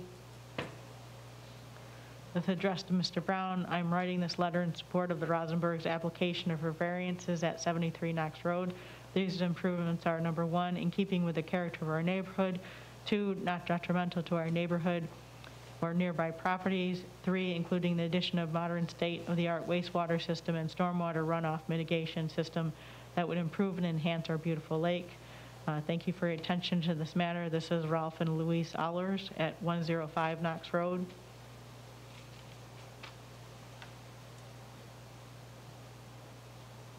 This is addressed to Mr. Brown. This letter is in the support of the setback variance requested by the Rosenberg family at 73 Knox Road. I have no objection to any of the requested variances. As a somewhat distant neighbor, the property line setbacks do not impact us directly, but some reasonable, given the totality of the project and existing structures, where their, where their immediate neighbors with a similar request, I would support the plan. Regarding the waste and stormwater systems, I'm wholeheartedly in support of this plan. Upgrading of an on-site system for existing structures should be encouraged and supported by neighbors in the town, even if reasonable variances are required. The benefit from upgrades more than offsets any encroachment in the setbacks zoned in the proposal. In summary, I recommend approval of this application. This is David Wilcox. This is 26 Forest Road. This is, my name is Bob Glandon. I live at 63 Knox Road.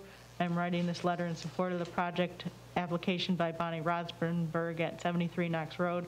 The requested variances will allow a currently small house to be more usable by adding interior space to the current rather small bedrooms and kitchen. Additionally, with these proposed changes, a new modern septic system will be installed, which will be beneficial for the lake. Additions called out for stormwater mitigation are also beneficial. And this is from Bob Glandon. And then, and then just to confirm, um, Dr. Collins and John Collins both wrote letters. I could read those into the, into the record if you chose to. And then Chris Navitsky read his letter into the record. So Okay, thank you, Laura. that's all I have. Do you want me to read those or? Uh, it- I think they're largely the same as the public comment that was made. I believe so. That's, that's up to them. Yes, ma'am.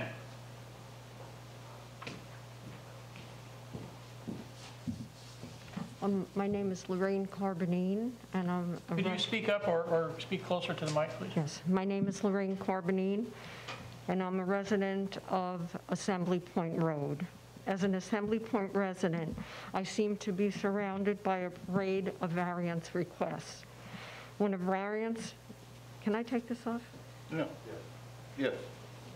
When a variance request or multiple requests are made for an already non-conforming lot, which many of us do have, I feel we're often pushing the envelope for lake health. Um, When looking at the use of the structures on a property, I do not believe decisions based on occasional occupancy can ever be accepted. Um, I think we heard that there will be seven total bedrooms on the property, but some are only used occasionally. A property must be able to fully manage the wastewater based on the existing number of bedrooms and not how often those rooms are planned to be used. I can personally attest to the value of this. One pandemic later, my occasional use home is now the home to a family of four for the past nine months. I think we're so fortunate to have heard input from our Lake George waterkeeper, certainly an expert on the issues facing our lake and how we might mitigate any negative effects of this project. Installation of the new septic system is key, but there are other critical steps to help balance the excess coverage on this lot to manage runoff, which our waterkeeper discussed. While we can stir in a lot of emotion into supporting a project, I think we all know that it is the environmental science which will help preserve our lake. And I ask you to listen to the facts and suggestions of the experts. Thank you. Thank you. Uh, I'll ask again, is there anyone else in the audience that wanted to address the planning board on this project? Okay. Ma'am, if we can just have you wipe down the podium for us? Oh, yeah, all right, thank you. And then flip your mask back on. I am always cleaning. So, uh, you can come back to the, uh, the mic when she's done, Mr. McElroy.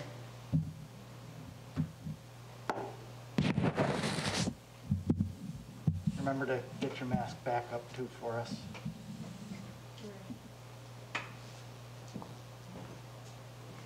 Thank you.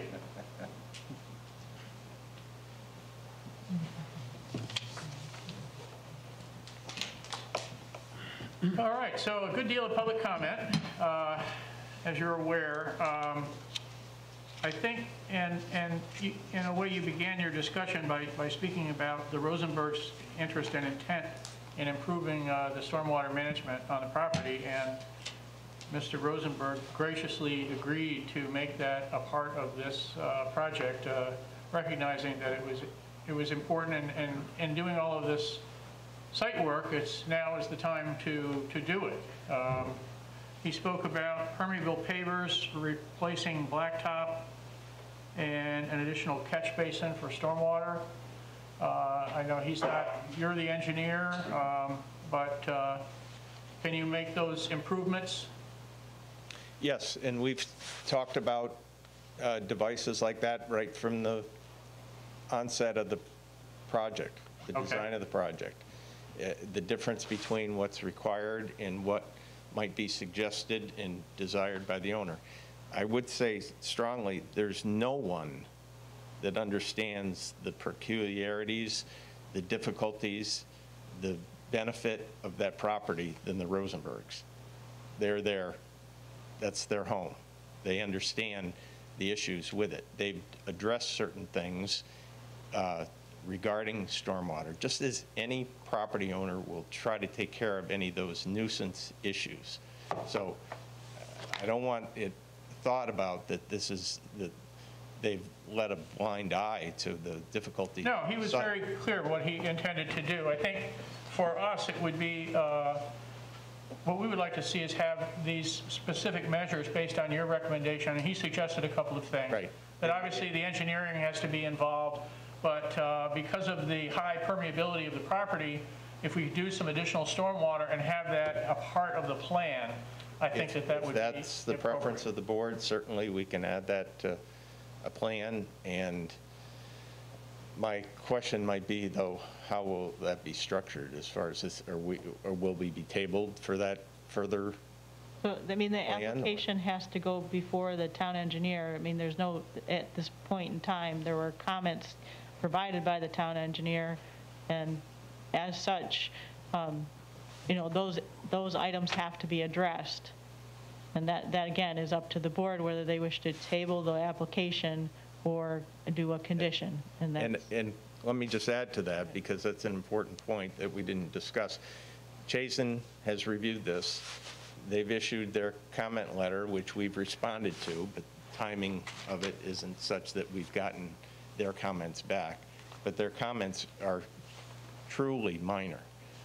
I've done this enough to know that, you know, Chazen will generally give plenty of comments about a project. In this case, there were nine numbered items, and I'll respond to something, John, you said the other night at a meeting where there were 21 comments. Well, be familiar with what each of those numbered items are. They're not all comments requiring some response.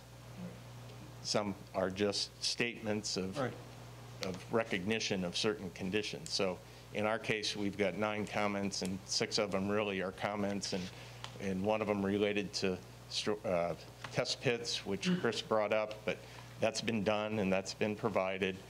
Um, A comment about a silt fence detail, uh, you know, so we're, I think, in real good shape as far as Chazen's comments on the plan before you. But if, if it's the preference of the board to provide some other stormwater devices, and they would take the form of perhaps either grass block pavers, depending on the location, or permeable block pavers, which get a credit for permeability from the town, but also provide a stormwater management device, or Stuart mentioned a catch basin, but that would then be a dry well perhaps, or maybe a rain garden type device. We've So I think that, that's, those recommendations probably would, would- I mean, they would, they wouldn't come from us, they would come from you. Yes, Uh, But the applicant has indicated that uh, he recognizes the need for additional stormwater and supports doing that at this point.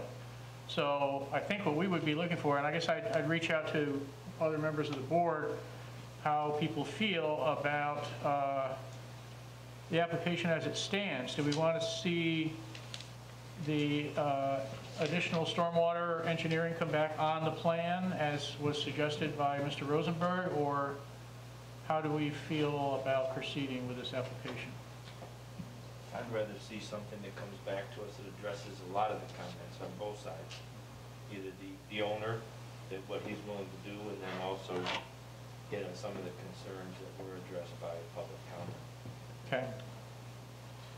Uh, We heard a lot of comments, and so far, we've only talked about stormwater. But a lot of the comments that we heard had to do with a non-conforming application that was being suggested that additional square footage be added. Uh, I'm sorry, you- are you talking about the septic? No, I'm talking about the FAR. It's But already that- Oh. over the recommended square footage for the property. That was granted by the variant, though. I was going to say, that was Yeah, they, they requested the zoning board of appeals look at that variance, and they did so and approved, gave, granted them a variance for the, I'm just for- articulating the com- some of the comments we heard tonight. I I don't know why we should ignore them. We also have an application that has a seven-bedroom, two septic systems on a less than half-acre lot that slopes 30 feet from the road down to the lake. And I have heartburn about that kind of a situation. Between FAR, two septic systems, three buildings, seven bedrooms, uh, seems to me we just well, the, the the buildings and at least one of the septic systems uh, predates this application that we have before us. It's not something they're proposing uh, to build, it's a pre-existing, in effect, a pre-existing non-conforming structure. And what they're, what they're doing is they're making modifications to a pre-existing non-conforming lot. Um, And my own feeling is that is why I think the, uh, my thought is the best way to address it at this stage is to uh, try to, to deal with the stormwater, perhaps reduce the impermeability, uh, to try to get it more compliant.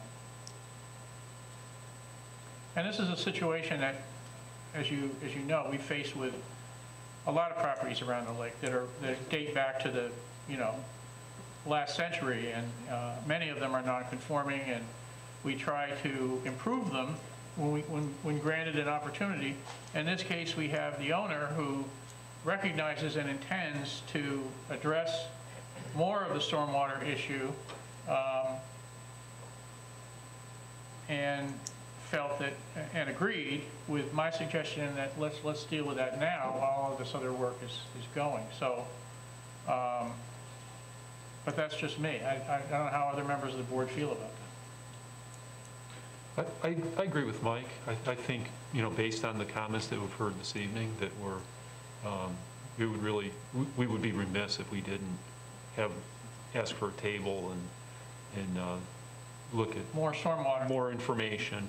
Yep, uh, okay. Rather than just say, uh, approve it subject to the engineer's approval, because it sounds like um, we need to look beyond what is being called for in the code in this specific case because of the unique features and characteristics of the site. So, Right. um, I, I So- I think, I would agree with Mike that we should, we should Okay. table it and ask for more information. How do you, how do you feel?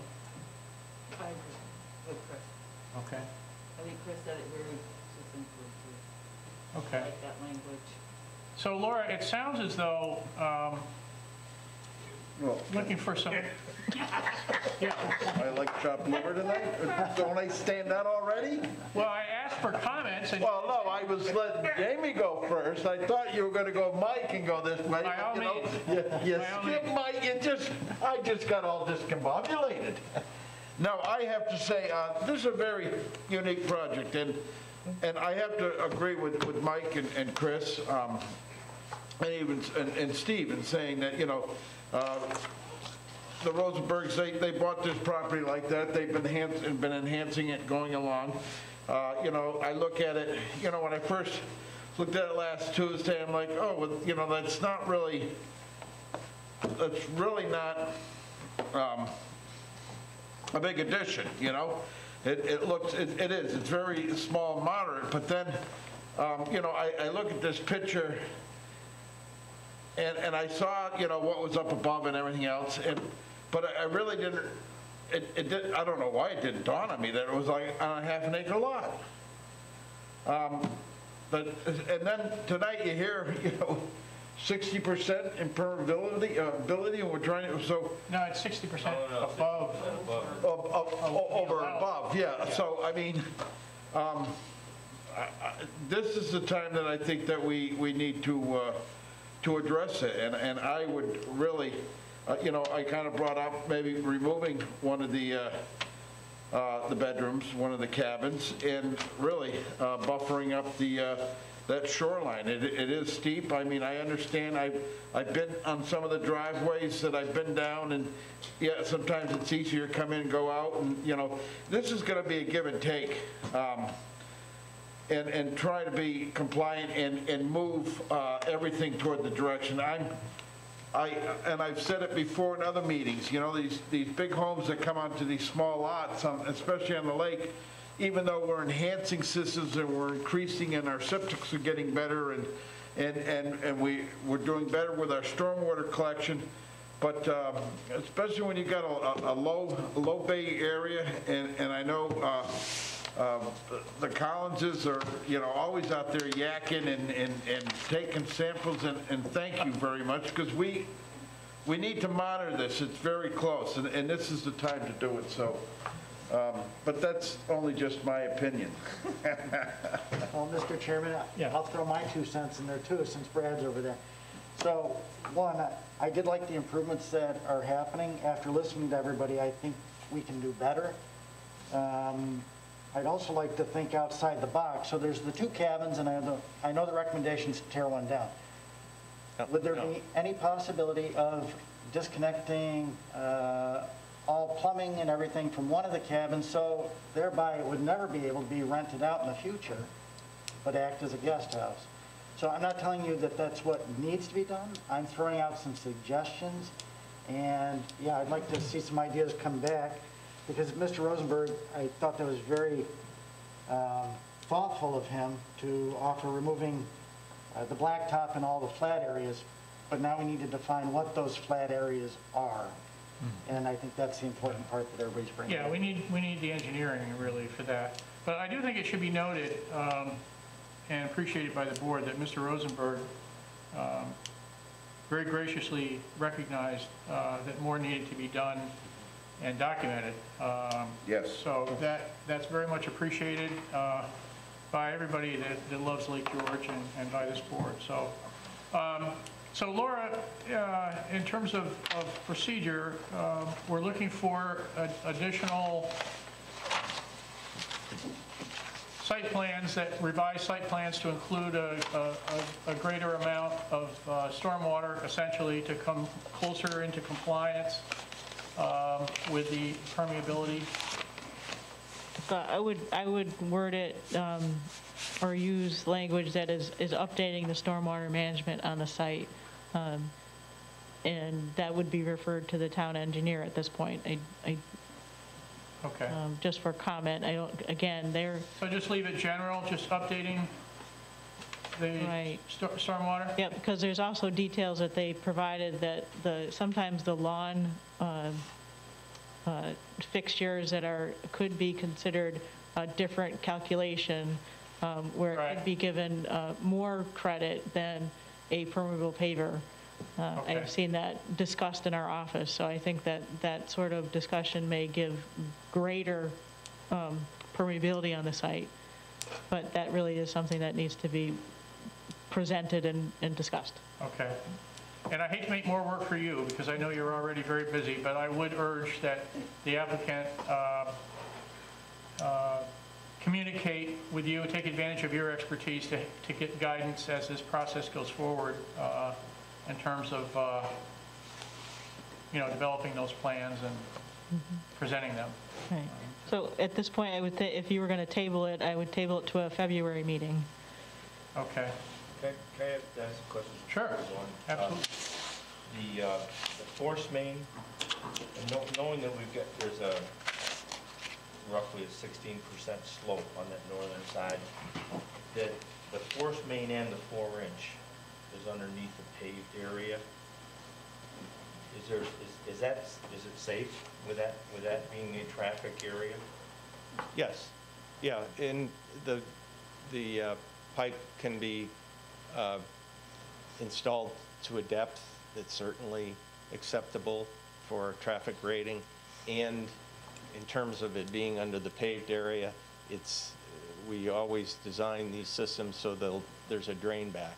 So it's not like subject to freezing that force main line. It would be, every time the pump finishes its cycle, the content of the force main would drain back. There's not a check valve that would keep that force I'm main assuming the charged. force main would not have to go as, as low as the four inch pipe, is that right?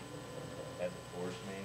And I'm just, wondering, because you're into that slope. my Uh, Correct, thought but they was- prob, they could be installed in the same trench if they're, if it's compatible there, or- Without or if it's, inverts on here working with the force main, I didn't know, did you look, is there enough cover on, on those?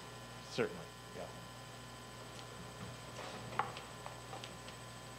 February 16th? We got the 16th. Laura, do you have a preference or a suggestion as to which meeting in February based on the I would do the first meeting, which is February 16th. February 16th? It is, and that's a Tuesday in February. I don't know what the Rosenberg schedule might be, but um, that is the uh, school vacation week, right? I, I believe, I- that's correct. Pretty sure that's correct.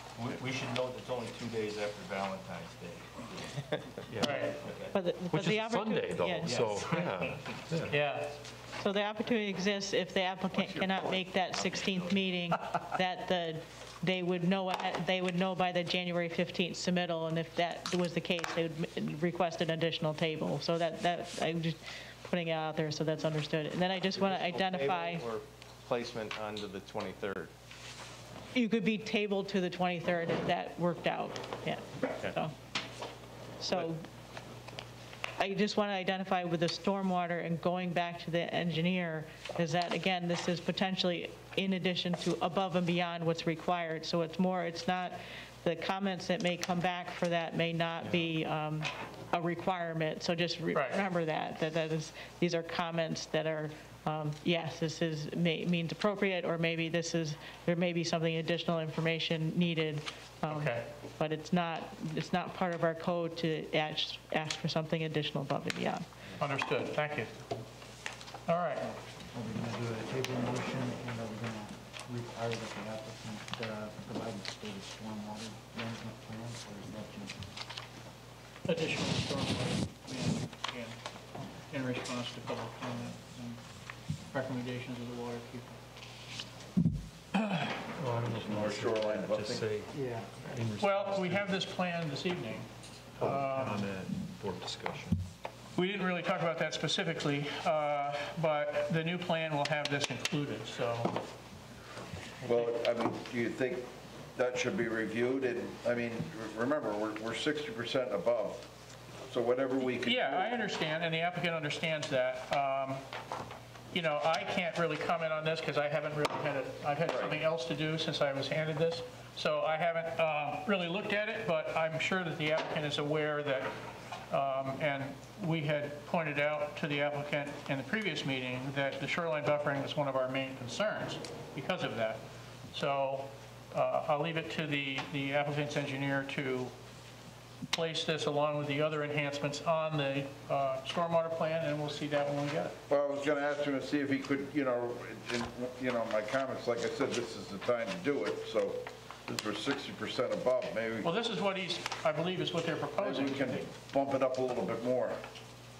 Well, you That's certainly what I'm asking. provide that advice. I I We have haven't a- been able to We have a this. lot up the hill, you know, and it, and it's, it's, everything's downhill. So, you know, all we could do, uh, and, I- and I'm not trying, this is a give and take, and this is really an overdeveloped lot. So the more we can put back in, and if Mr. Rosenberg, as he stated, you know, is, is, you know, the true steward that he wants to be, then I, that's what I'd like to see. So, Okay, well, I'm sure he'll take that into account. All right, thank you. Yep, so we have a a tabling motion? Yep, we'll give it a shot here. Motion to table site plan 58-2020 Bonnie Rosenberg to the February 16th, 2021 Planning Board meeting with the applicant to provide updated stormwater management plan in response to public comment. That would be February 23rd. No, Is that it? uh, that's an alternate date in Oh, I'm case you sorry. can't. then. I just, I'll second it. So I- as part of your discussion, I apologize for not interjecting earlier, but with public comment, are you still going, to are you going to leave the public hearing open? Yes, we will leave the public hearing open because we're tabling the application now. I should, yeah, I'll, I'll state that now for the record. The public hearing will remain open on this application because we are tabling. Sir, is there any question, any opportunity to ask two clarifying questions that I think would be There- helpful to you as well? There will be when the application, when we see the updated application.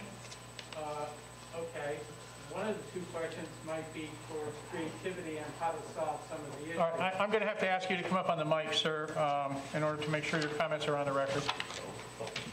Thank you very much. John Collins. Um, So one of the proposals I had was in- if the cabin wasn't taken down, whether you could put a deed restriction or an agreement running with the property not to rent the cabins out in lieu of disconnecting plumbing.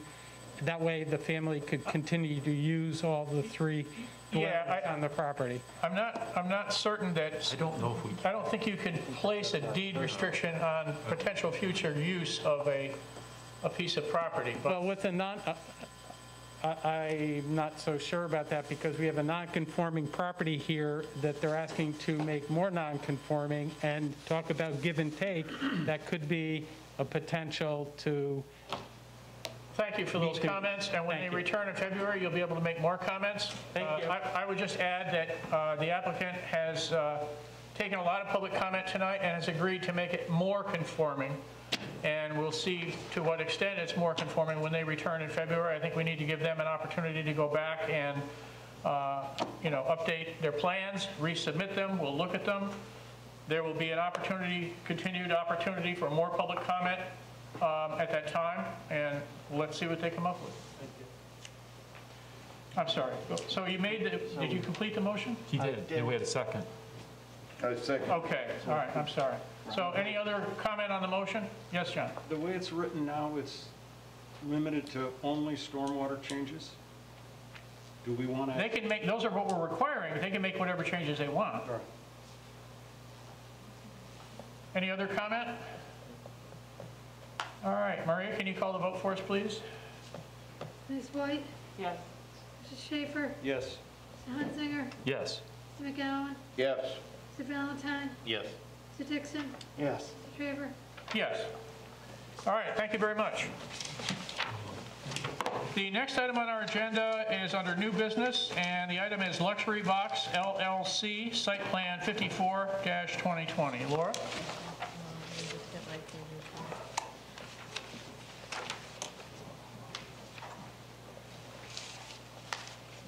Okay. So this applicant proposes to install seven separate buildings connected by a covered walkway and a facade feature at 4,685 square feet. Project includes site work, grading, stormwater management, lighting, landscaping, and connection to municipal water and sewer. Okay, thank you. Good evening. Good evening. My name is Eric Sandblum with Schoder Rivers Associates. Um, I'm the engineer on the project, and uh, in the audience also is, I guess I don't have to point him out because he's the only one left, uh, David Brindle uh, from uh, Luxury Box uh, LLC.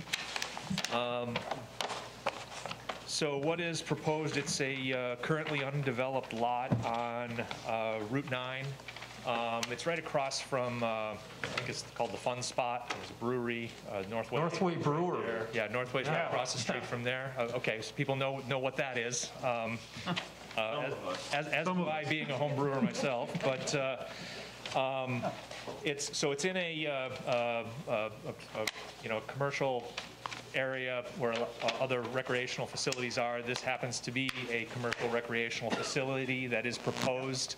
Uh, There, the seven individual buildings will serve as individual um, gaming stations, um, so to speak. So it'll be like a virtual um, uh, gaming type of experience, uh, you know, like virtual golf or virtual uh, football. And uh, David can come up later if you've got specific questions about that. just interrupt just for just a moment. So I do know Mr. Brindle, so, so for disclosure, I don't see any complications or conflict. Because you know him?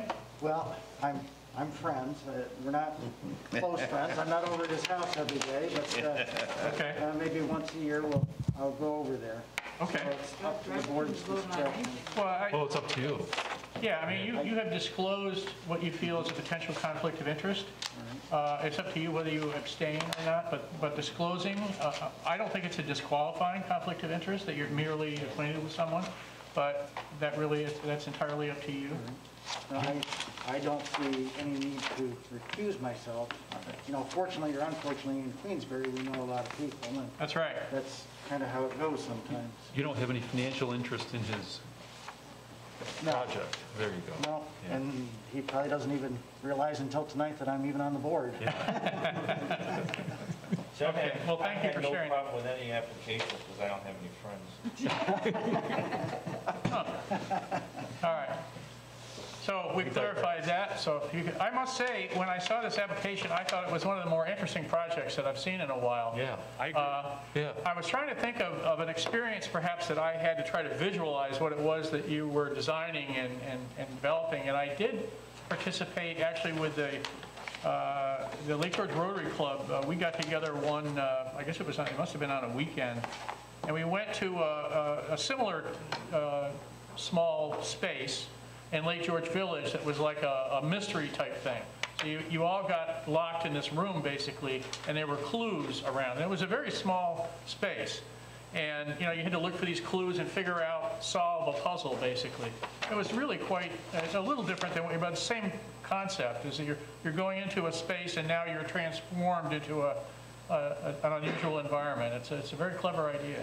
Yeah, it certainly has a lot of potential. Yeah. Um, And uh, so because of the, the the seven, you know, separate buildings, the the construction of them is going to be unique as well. Um, They're going to be um, essentially built off-site and, and then transported on wheels. Um, And uh, so uh, it's kind of hard to de- just describe um, without the structural drawings, but um, essentially there'll, there'll be a, a, a wooden walkway that is used to connect all the buildings to, to walk from one building to the next.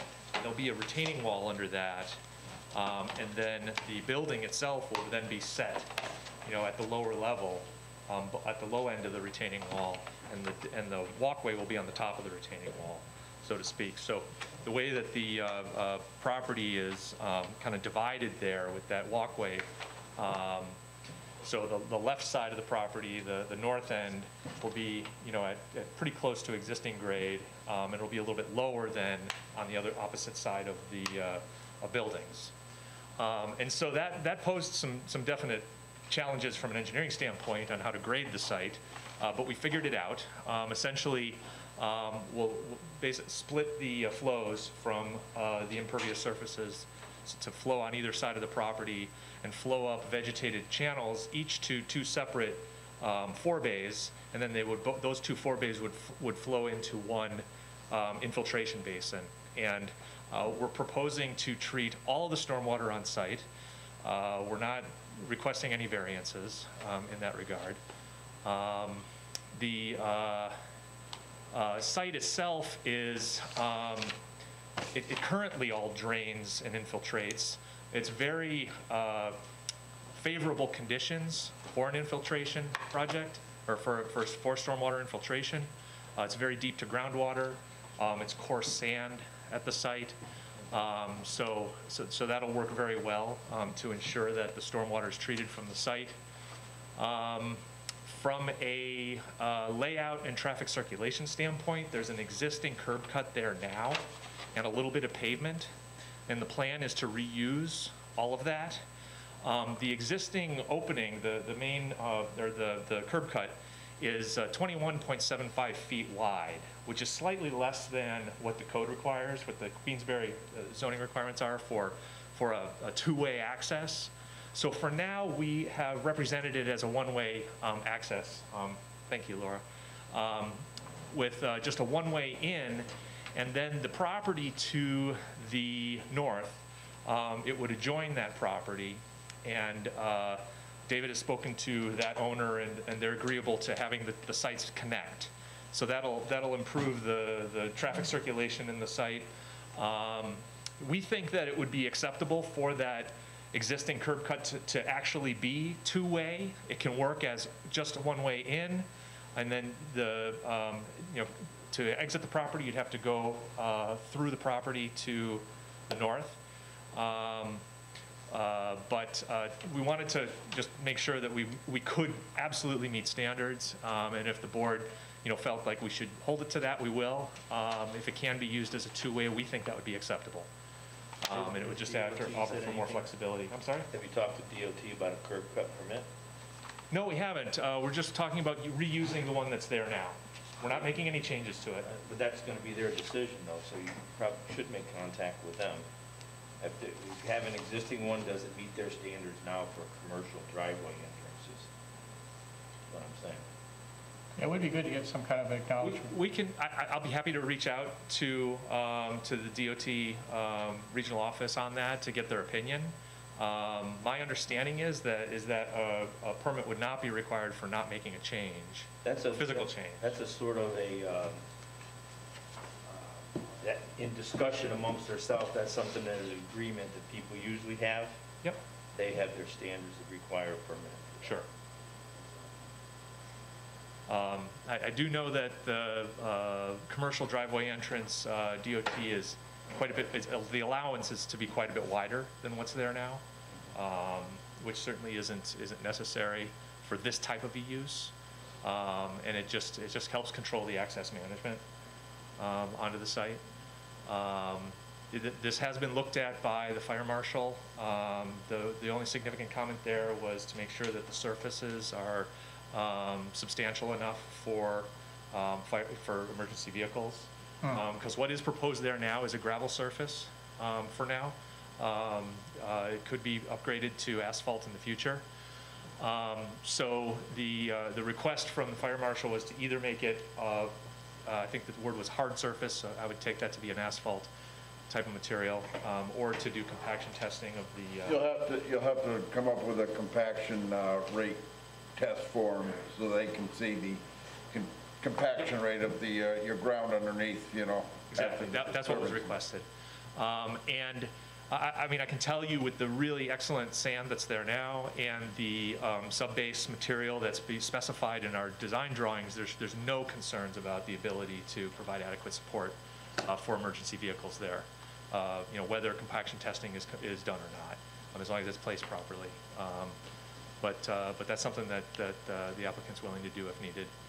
Um, Yeah, I, I don't know how hard it is, you know, um, you're a pretty big guy, you could probably go over there and jump up and down in front of Mr. Palmer and he'll say that's enough, but I don't know. I- Yeah, I haven't, I haven't tested that one yet, but uh, it's a good suggestion.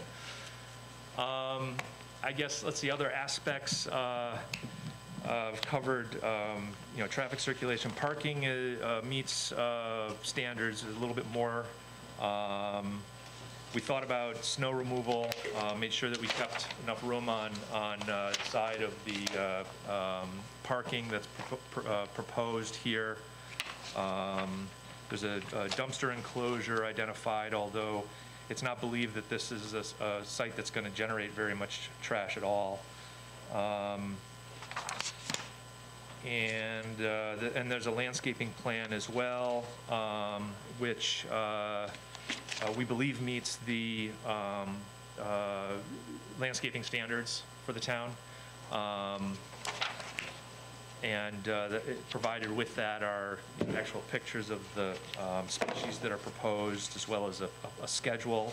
There are, um, there, there, there, uh, uh, David would like to uh, maintain as much of the existing trees that are there as possible. Um, It is going to require, you know, clearing most of the lot, but um, there's an opportunity to maintain a lot of the the trees that are right on the edge of the property. Um, There is a 50-foot buffer requirement. Excuse me? There is a 50-foot buffer requirement to the residential zone? Correct. Um, We understand that, and uh, That is uh, a a bit of a challenge for us. So what has been proposed is the construction of a fence on that um, uh, southeast corner, I believe it is. Um, If you look at C-103, the landscaping plan, it shows the extent of the fence. And then, um, you know, there's also to maintain those trees there. But then also, if you look at the uh, uh, C-102, which is the grading plan, that shows the, um, uh, yeah, that's what, sorry, I'm just trying to see what's up on the screen right now. I think that's uh, 103. Or that's the, the, um, the layout plan. At, at any rate, the, um, uh, C-102 is the, the grading, grading plan, and that shows the, uh, infiltration basin that's gonna be located there. Um, and so that space is really needed, um, for that. It'll all be, um, you know, it'll be green. It'll be green, you know, um, uh, surface. Um, And then to also maintain the trees that are currently on that property line or on that corner, and then also add uh, the fence um, in order to, um, you know, compensate for the um, removal of any vegetation within that buffer.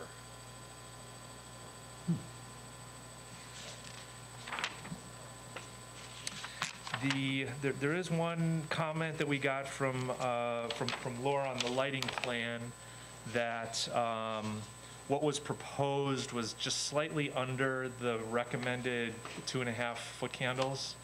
Um, and so we actually had prepared a revised lighting plan to meet that requirement. But then it was also suggested that, you know, since it's just under that, um, that the board may consider that providing, you know, adequate lighting for security, but, you know, making sure it's not excessive. Yeah, Um, we can so discuss that, sure. I think we would, um, I, I I think that, uh, uh, correct me if I'm wrong, David, but I believe that it would, it would- it would be in the interest um, to maintain the original proposal that was submitted if it's acceptable to the board. Okay.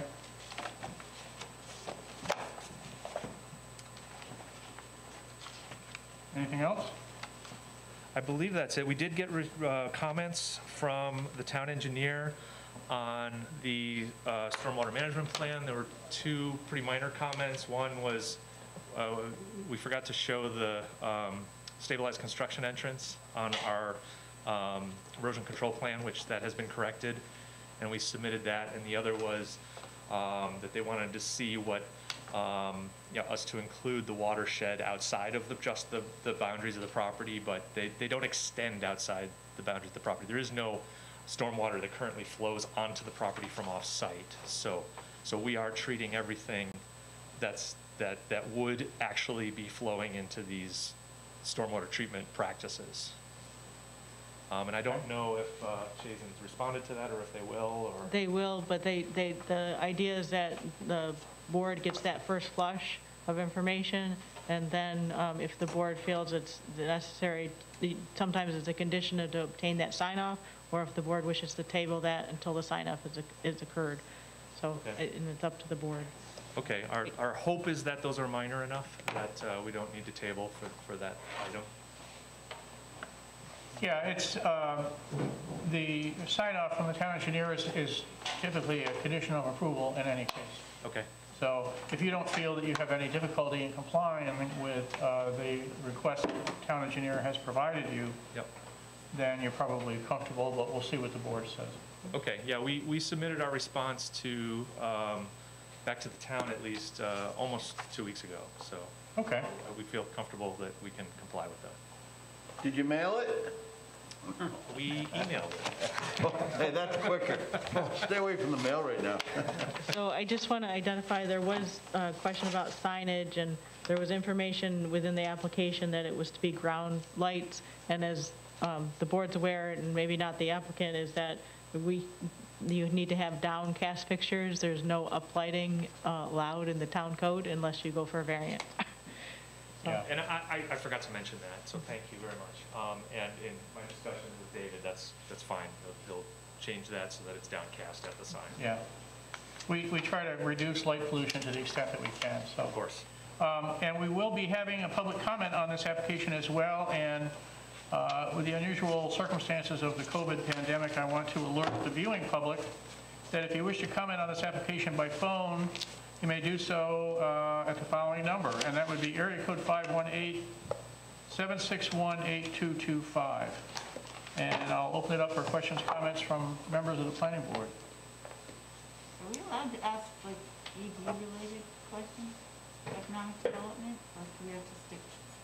I'm sorry, I didn't, I didn't hear. Well, I just have a lot of questions, economic development more related, like currently, this type of entertainment, you can't even open right now. All these types of businesses are closed during COVID.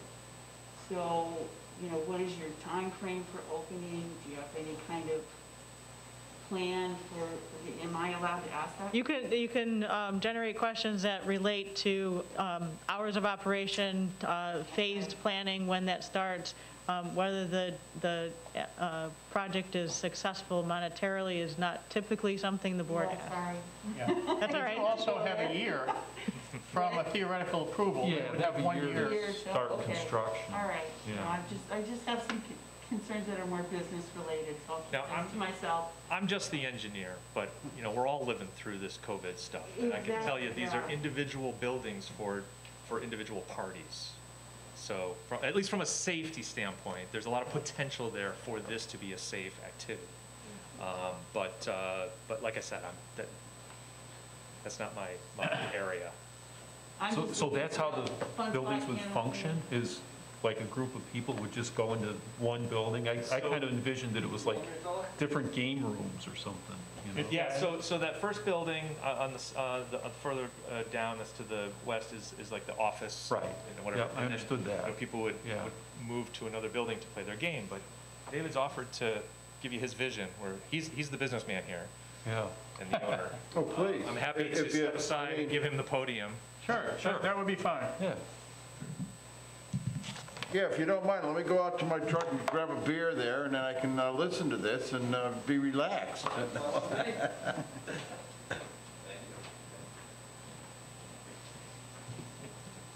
Thank you, everyone. Good evening. How are you? David Brindle. So to answer that question first, and I'll get back to the other question. So from all my research I've come up with, there's nothing that's precluding me from opening because it is a small unit. So you're not getting 30 or 40 people in there. The maximum is six people. So I haven't found anything. If you find something, I'd be more than willing to look at it, but uh, I've not found My issue anything. is, is I'm currently doing lending for, the under the CARES Act, and there are several businesses who fully anticipated they would be able to open, and they have not been able to open. And they're, you know, under similar type, you know, small rooms, games, they thought they were safe, thought they did everything they needed to, and they were not, have not been allowed to open. So, I, you know, it's just. Like I said, my research doesn't show that there's anything that's Neither stopping me. did theirs. So, Yeah, and we're looking at something in the future, not something in the past, Okay. too, which makes it different. Yep, Yeah. yep. so, hours of operation, you said, so I'll answer that question. Okay. So it's nine to nine, seven days a week. Um, That's for the general public. I'm also going to have it where you could become a member, and members would have 24-hour access to it, Uh, but it's only a limited amount of people, so it's not like we're going to let everybody become a member and have 24-hour access. Um, Interesting. What's that? I, I do have a question. Yeah. As far as the color schemes go, what we see in the rendering, is that the colors that are being proposed? I think the, I- I've changed it a little bit from the blue to more of like a, a a neutral kind of khaki kind of color. Okay. So it's not, and it's probably going to be clapboard, not cedar shingles. And that- Is that something that we would want to review or see the color schemes before approval? Well, it's, it's, we don't always have the benefit of color renderings, but we, we- we do often discuss, uh, you know, certainly the visual impact and so on, and how it fits with the character of the commercial area that it's located in is entirely appropriate. And then the only other question I'm going to throw at you is, have you considered any charging stations for electric vehicles as everybody is starting to transition? Well, I shouldn't say everybody, but there is a transition to electric vehicles. Are you looking at any charge stations to add? To be honest, never gave it a thought. I mean, I, I do notice that they're putting them in malls, places Yeah, of they're- recreation. Typically, people with money have electric cars, and they're shopping, they're, uh, Route 9 just put in uh, several electric charging stations. I would add, too, that uh, the town of Queensbury occasionally does get grant funding for uh, electric charging stations, so I would say at this point, if you even would consider that, if you would just l- l- advise the town that should the town be looking for a site to install a charging, that you would be open to doing that, Mhm. and then they could reach out to you if- if they get to that point. Yeah, no, no. That would be one way to handle it. Yeah, fine with me. I'm sorry, what was your question? I do- I forget, We- I think you asked it earlier. Yeah. My question? I don't, did you have a question? I don't remember. I have one while you're thinking. Yeah. Your application talks about the portability of these different unique buildings. Mhm. Could you explain how that would work and under what circumstances? So uh, the structures are made on a trailer. So they fold up and they sit on a trailer that's eight and a half feet wide. I mean, some of them are 35 feet long, but most of them are 20 feet long. So they are legal limit, they can go down the road. So the, the design of the product is that it can go off-site. More than likely, those are not going to go off-site. They're, they're probably going to stay there, but it does have that functionality to move off-site. So if somebody wants to rent it for a month at a restaurant, let's say, then we could bring it to a restaurant for a month and, and rent it to them. Or a state fair or county fair, or whatever? Exactly, yeah. Interesting, yeah. But if we do that, it's more likely that's going to be something that I'll keep off premises and we'll deliver it to them. Well, well, um, my question was, what, what are, what are you doing on the site? Oh, that's right, yeah. What are the buildings? What do you, what do you do in the buildings? So it, it has, it's not quite virtual.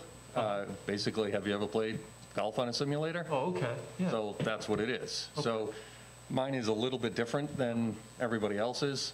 It's, you can play golf, but I have a lot more variety, a lot more different software that people can use, that wo- they can work on their game, they can have fun with their kids, things like that. So is it all golf? It's not all golf. So you go, you can play golf there, you can play other sports, Okay. you can play baseball, hockey, soccer, um, uh, foot golf, frisbee, bowling.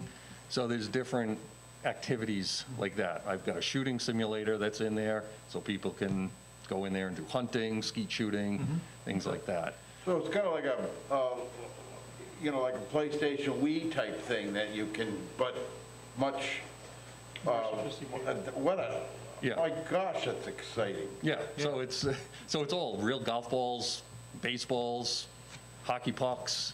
So you- you're actually using the equipment, so it's not like a Wii system, so. Oh, well, yeah, no, I, I can see that because um, I know, uh, like, you know, when, when you used to be able to go out like bogeys, you know, I'm, I'm always interested to watch them, you know, play on the screen there, and it's just amazing, and the crack of the ball, and, you know, and, and then you sit there and watch it, and, you know, and then you, you see them like, oh, you know, oh, that one hooked, or it, it really, it's amazing, but when you see them go straight, when you, drive, it's really, this uh, virtual, um, uh, gaming now is just, uh, what a great, and then you can pull the units out and transport them if you need them. So, I mean, obviously, you're gonna have them on a, a slab and then tie downs and that. Um, Yep, yep, exactly. So the, the other thing is, uh, the screen is 16 feet wide, nine feet tall. So you've got basically a movie theater, so we'll also have seats in there, like movie theater, movie theater seats. So if somebody wants to log on to Netflix, then they can watch movies, or if they want to watch a sporting event, things like that. So it's not just, it's more entertainment is what it is. That's how I look at it. It's not just playing sports. So like if I wanted to go there, I would rent one of these buildings for so many hours Mm-hmm. or a day or whatever. If your whatever. wife told you to leave the house for a Sunday. Yeah, exactly. Correct. Go watch a movie there instead. Yeah, Yeah, That's exactly. why I don't understand. I don't get, I'm thinking the other thing I thought about is, okay, what about a blockbuster syndrome? Zero. When the whole concept of blockbuster going to rent movies fades away, Hacienda's got a business that just dies out. Yeah. And I'm just thinking, this, again, this has nothing to do with approval stuff, but I'm interested the same way Jamie's looking at it. I'm going, what happens when it dies out? People don't do, don't go to this visual aspect of sport entertainment. Change the software. Yeah, I mean, I don't want to get into the, the business side of it, but I get what you're saying, but it, I mean, you go to bowling alleys, they've been around for umpteen years, and, and people use it as entertainment, they're not professional bowlers. So that's what this is, it's more entertainment. This is just something rummaging around in my head as you're going through it. I'm sort of thinking about, like I said, it has nothing to do with the site plan or anything. It's just- an interesting thing, that's all. Do you game with your gan, your uh, grandchildren? No. Well, obviously, you're gonna have to start that this year. You'll, you'll see, you'll get into it. So I do have a public comment. Since he's up there, I might as well read it in case you have, can respond to some of the questions. Yep, we did open the public hearing. I haven't gotten any phone calls, uh, but are there written comments? There is. So this is, there's one in here. So this is addressed to Mr. Traver and the planning board members. As owner of 14 and 16 Twicwood Lane, I have deep concerns regarding the proposed commercial development of the tax map 296.9-1-13. I understand commercial brings more to Queensbury's coffers than residential, but must it be at the expense of residential areas? I have owned my home since April of 1973 and seen many changes through the years, beginning in the mid-1980s, due primarily to substantial clearing of mature trees and underbrush after townwide rezoning. The concept of clearing trees and grading on this subject property is distressing. My property, as do most homes backing along Route 9 on Twicwood Lane, sits on a ridge. The proposed clearing on this project is likely to allow noise and light pollution. There is no fence nor plantings, nor new plantings that can replace 60-foot oaks, maples, and dense underbrush. They help absorb noise and deflect on or block light. I bring the, before the town planning board, six issues. One, I request the board require the applicant leave all vegetation to the rear of these pro- proposed new buildings and relocate the stormwater management system to the front of the building under a permeable surfaced parking lot. Two, the proposed lighting by this applicant looks to have exposed bulbs on the back side facing our neighborhood. Please require a different type of lighting which would not allow light to spill into our backyard. This time of year, when leaves are off the trees, it is par- particularly problematic. Three, if you allow clearing on this property for rear property drainage, I request the applicant be required to construct an 8 to 12-foot high dense cement retaining wall, not wood or metal, and built in such a manner six foot tall.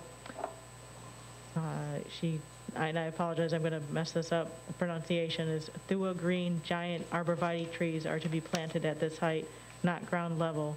Please require Thua evergreens. Initially, there are more costly, but they are resistant against damage from deer which reside in these woods. Stipulation also needs to be included requiring that any property owner, present or future, will maintain this barrier. Four, construction of these buildings need to be built in such a manner that they are soundproof. Previous experience involving noise issues from an entertainment business along Route 9 took years of battling with the town and owner to resolve. Let's prevent that. Five, any type of external public address system or music speakers is to be banned. And uh, Six, lastly, restricted hours of operation should be included and stipulate the business will not be open earlier than 8 AM or later than 10 PM. And this is from Linda McNulty. Thank you, Laura. Uh, I don't see anyone in the audience that wants to comment in person, and we have received no phone calls. We've heard written comments, so we'll go ahead and close the public hearing. Uh, Let's see, the comments were hours of operation, you've addressed that, 9 to 9, which falls, uh, complies with the one concern that was mentioned about 8 and 10. Uh, Will you be turning off the lighting at 9 o'clock at night when you close? I mean, it- it- I I honestly didn't, I I was probably going to just put them on lights for dusk to dawn, but, uh, I mean... Oh, okay. I mean, we could turn them off when we leave. I just see a Well, just security if- issue If with they're on all night, you can imagine that if there's someone that has a home nearby, that light is going to be on all night long. It would be, Yeah, I'll address that. I mean, can you pull up the lighting?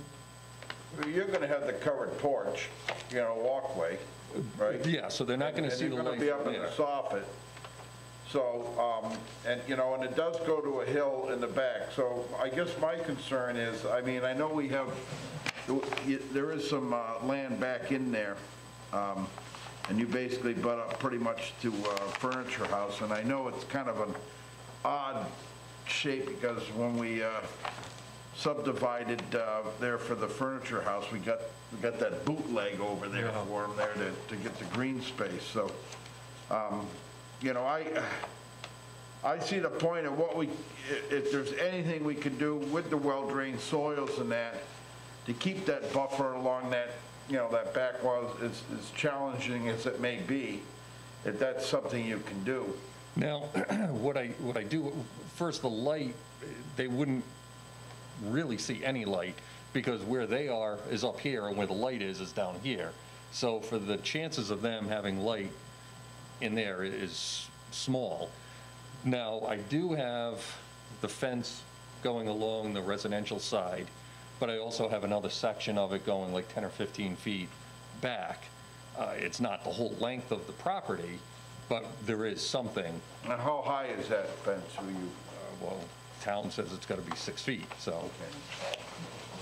I mean, if So if you're requesting not- something so- different, then I can look at Yeah, that. I was going to say fences are reviewable by the, the planning board, so in commercial zones, so if you're proposing something higher than six feet, that's reviewable by the planning board, so it'd be something that the board can, could discuss, but um, it may be something that needs to be presented to the board.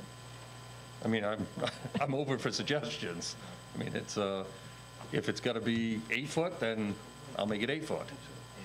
I mean, I, I, I- I prefer not to go much higher than eight feet, just because I've got a commercial building in Kingsbury, and I dealt with, they made me put up a 10-foot fence, and it keeps falling down because of the wind.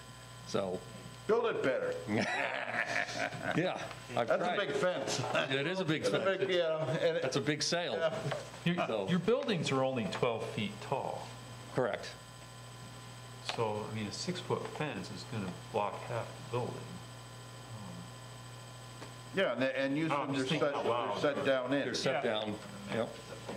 And, and there- and you do have that buffer on the south side. from the furniture house behind you. Yeah, but that, but that's the furniture house buffer too, so we Right. can't count that No, buffer. no, no, I'm in not counting, his it. I'm just saying that He's just noting the that wo- it's the there. woods are still there, you know?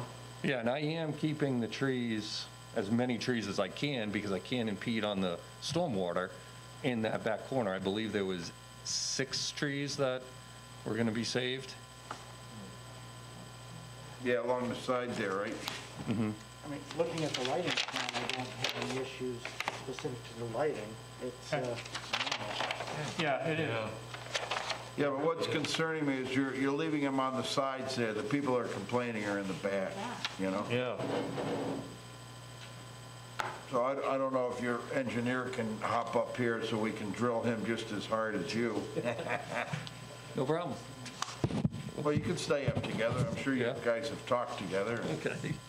If you feel comfortable, I'm not telling you what to do. Just play nice up This is, there. this is fine, this is fine, this works, and I can project my voice, so I don't have to crouch over the microphone. But, uh, you know, it- wh- what can we do? Because I, I, you know, it's, it's always been a concern along there, and, uh, uh, you know, I just, um, we grew up on the backside of that, or I did over on Greenwood, uh, uh, way back at the backside, and, we- you know, I know Twicwood, and, and I know all about the noise, the go-karts and that, and, you know, uh, Sutton's and Dream House, and, you know, and, and I'm not against growth. I, I like the growth.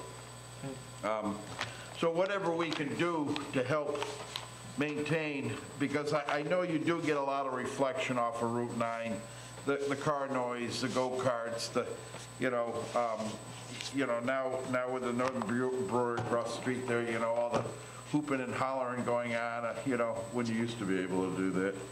But, uh, so if there's anything we can do to, uh, to mediate that, because you, you really are going right to that back one, and, you know, we have buffer zones in for the reason, and it, it is, um, Well- it is kind of tight what you're doing here. Certainly, and, and, and I, I, I do have to reiterate that thinking that that fence is gonna do an awful lot to, to help buffer that, but so are the buildings themselves.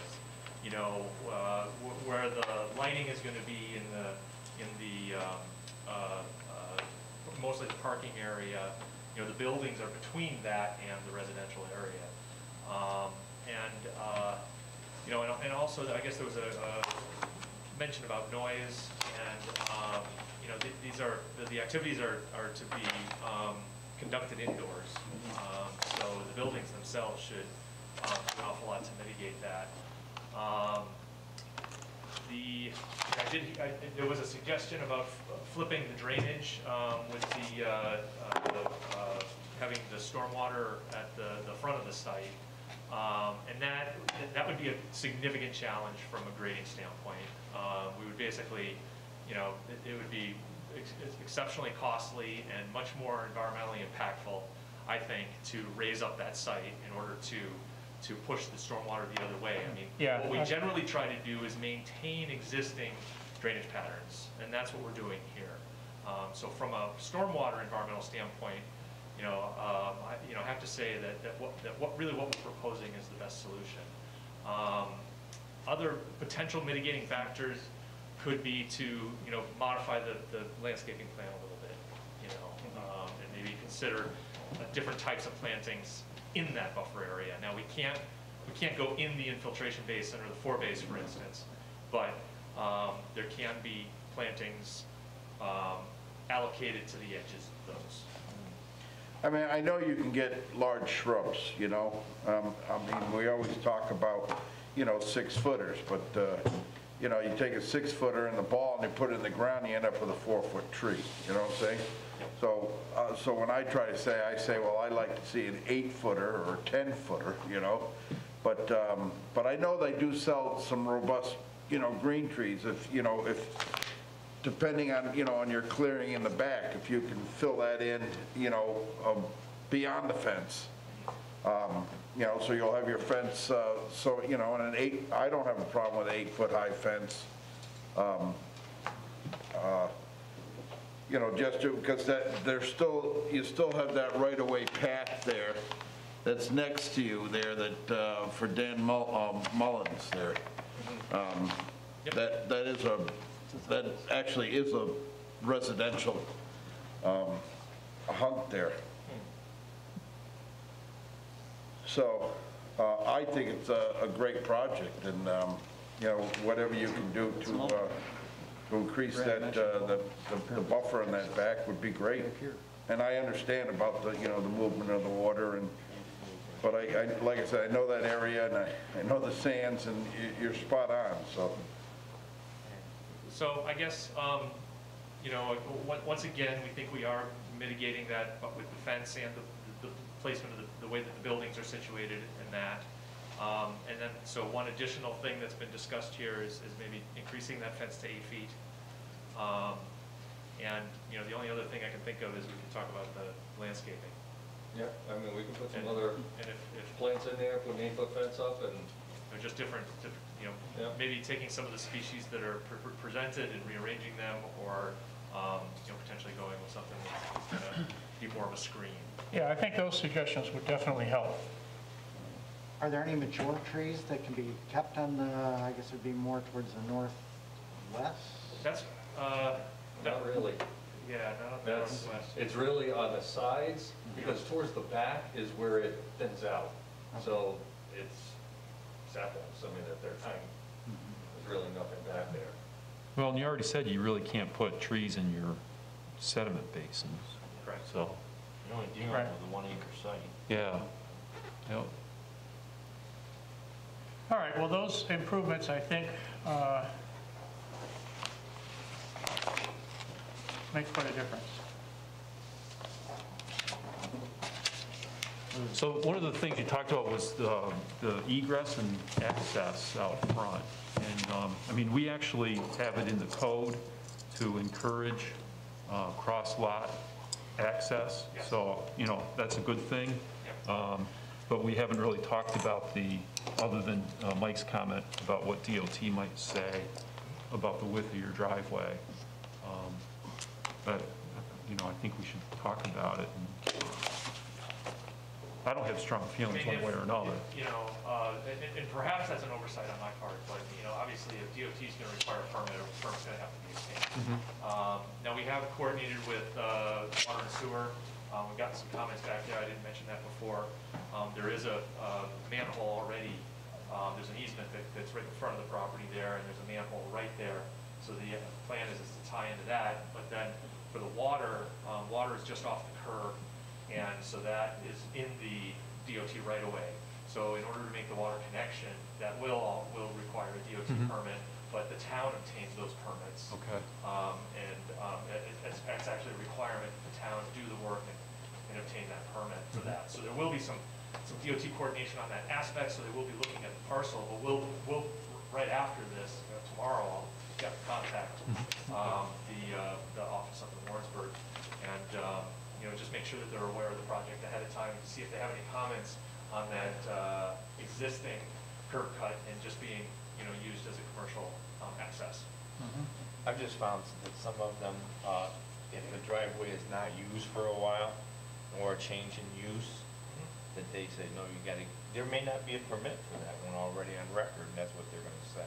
Yeah, I, yep, I, I- I've experienced that too, and I've also, um, you know, been in situations just like this, where they're like, you know, as long as, if, if we're not touching it, um, you know, they don't require a permit. The minute we have to touch it, all of a sudden they want us to completely redesign it, and analyze all of our stormwater flows and, you know, all of that. So your, well, your first, um, your first drive, your, I'm sorry, parking stall on the left as you go in, is that gonna be problematic with people coming into the site from that driveway? It shouldn't be, there's quite a bit of room. Um, If if you see that, that, you know, how much space there is from that parking space to, you know, across the rest of that, that lot right there, actually. um, I brought it, I might as well use it. Um, Right, this area right here, there's, there's, there's really, you know, so for a vehicle to come in here, there's, there's plenty of room for, for making maneuver, maneuvers um, in, in the property that way. Have you seen John drive? Uh, I, I, nevertheless, but by most standards, I think that there's plenty of room there. Yeah, okay. It's gonna be 60 feet. It is, I- it is, it's about 60 feet and, oh, excuse me, um, that's just, Oh! that's a Oh, nature Call my of, lawyer, let- hang on, let me call my lawyer.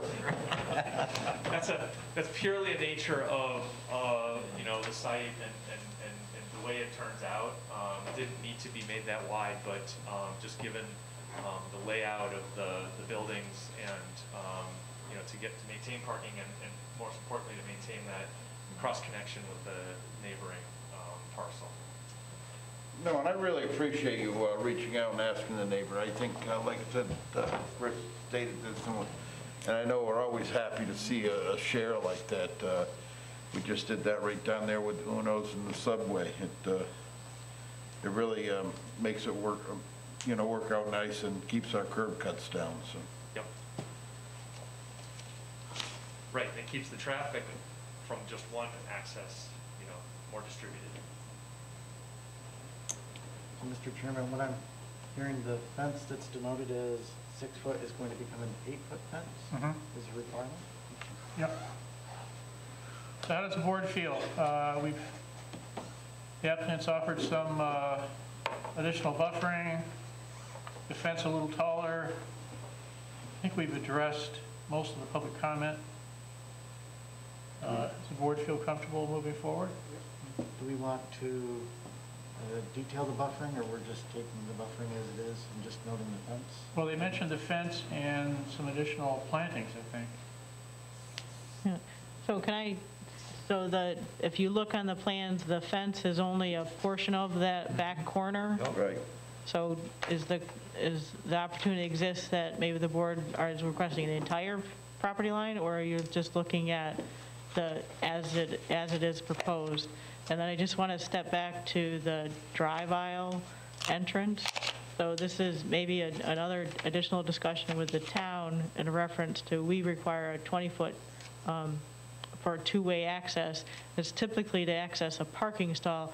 I don't know, and I'd have to look a little bit deeper, if we require a- a width um, for a two-way access point.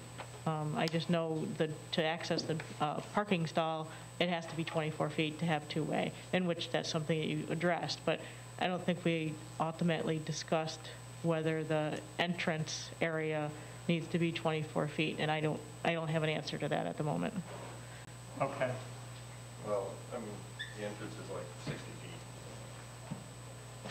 No, I mean the width, the width, the the actual physical width of the um, curb cut. Oh, you're talking there. right, Yeah, right here. yes. So that's 21.75, and, um, the, I mean, I can tell you, as far as the travel way goes, um, I mean, I've, I've seen, um, highways on the national highway grid with nine-foot lanes. That's not ideal, I'm not saying that, that that's it, but, but, but you can function, that's my point, you can Sure. function. And so that, that's why I think it, narrower, and with the 20, the- now, now the standard of 24-foot width, that is, that is very standard across many, many jurisdictions. If you're going to have perpendicular parking, that you have a, a- for two-way traffic, that it'd be a 24-foot width. And that's not necessarily what's happening right here, this is just the access onto the property. What we would be talking about is 24, like up here. Travel area And, or, or here, and- and we do have more than, we have at least 24 feet in both of those scenarios. Um, So um, if, uh, I I guess from, from an engineering standpoint, we think it would be acceptable for that to be a two-way entrance, Um, but just have to. re- You're going to be, you're going to be having discussions with DOT anyway. True. And uh, if you uh, present that you're going to be in compliance with what they require, I think that's uh, acceptable to us. Okay.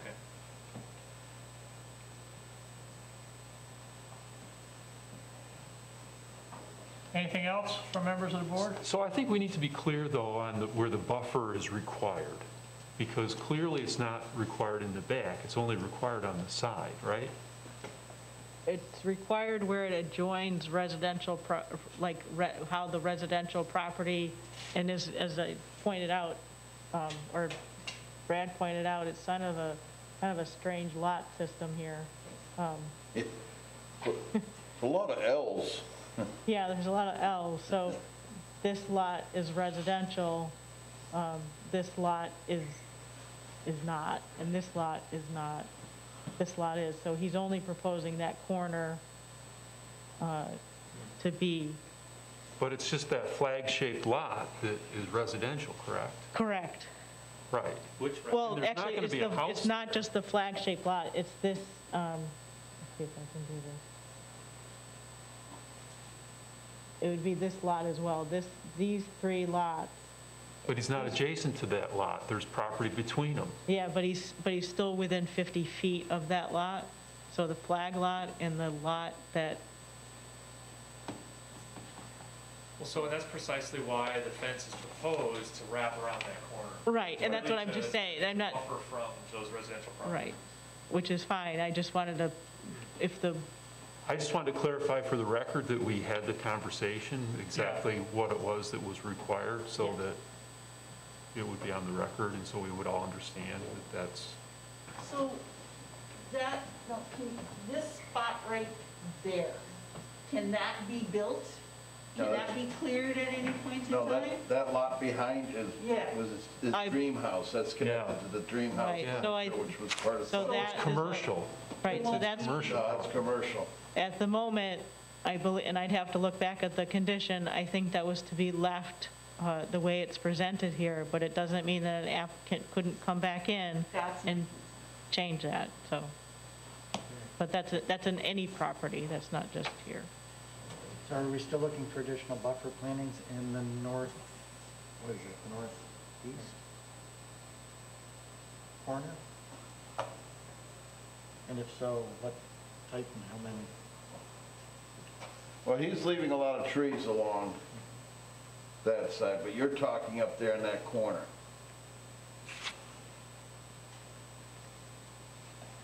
I mean, if they can leave as many trees as they can all the way up there, I don't have a problem with the,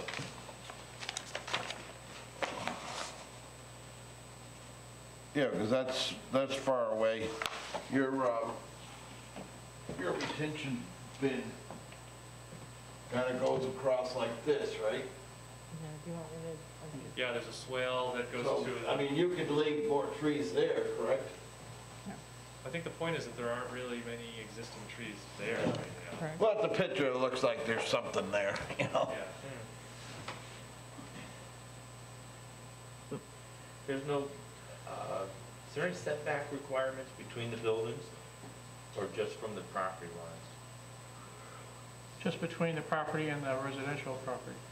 Right, so that's a discussion with building and codes, and I don't, um, I, I believe they've already discussed some of this aspects with building and codes, and that didn't come across to me as being, they hadn't, didn't approach me and say there's an issue with um, building uh, distance.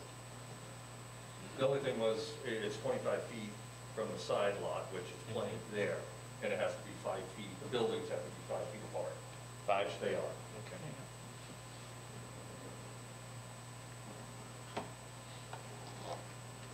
And that, you, that satisfies like ISO standards for insurance and stuff then? That Just satisfied Dave, so, I don't know, that's what he said it has to be for building code.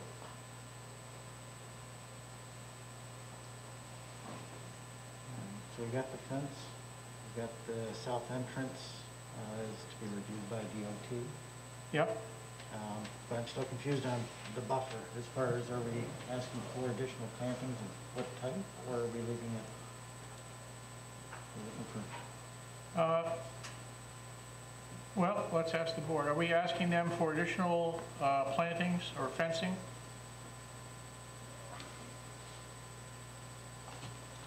You're coming how far across over there? On the, So it's not, it- I don't think the, fen- oh yeah, here we go. So the fence, it goes off the page down here, up to here, and then it ends right about there. yeah, I think it's yeah, a little less than that, I think it was only about 15 feet or so I was coming off the backside. Well, it looks like you got one, two, three, four, and you're missing the fifth post at the end. You just got your fence dangling out there. Okay, that, that's, that's my fault. That's, that's our drafting. I apologize. Now, that's why your fence keeps falling down over there in Kingsbury. You don't have enough posts.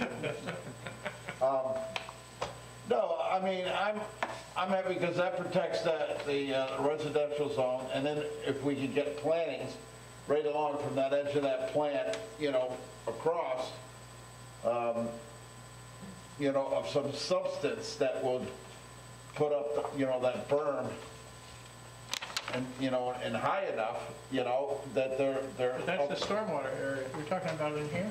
I'm, I'm talking between the stormwater, in between, no, the stormwater's down where the dotted line is. That's tapered in, right? So this, this is uh, sediment forebay, Right. and then this is the infiltration basin. This is So, the second so, sediment. so above the dotted lines, between that, the small dots and the big dots, So this little space here between the top of the forebay and the Yeah. property line, there is, a- there's a small amount of room there. all right, how much do you think? I think that's about five feet.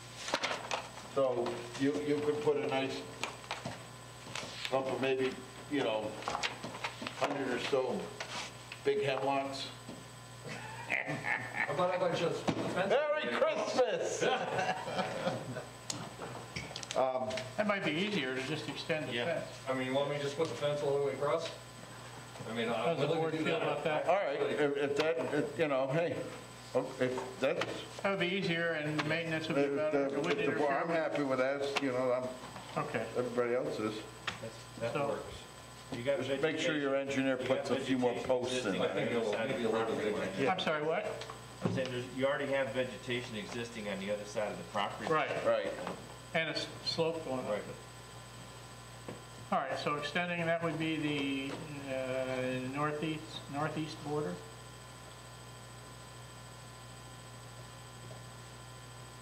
Anything else?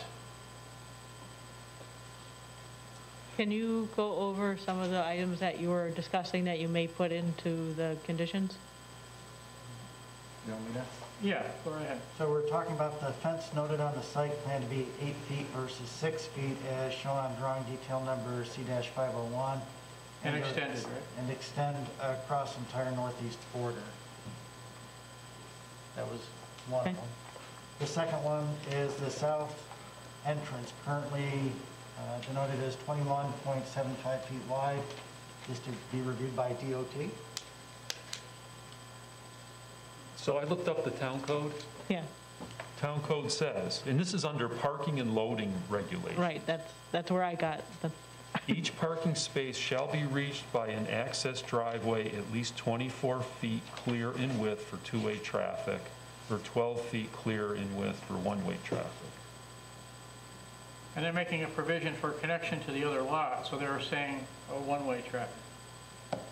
Well, they're saying it could be one-way traffic. So the, I think the question is, is whether that entrance could be a two-way point. Yeah. And so I think that's, you, you want an answer from DOT of whether that could potentially be a two-way.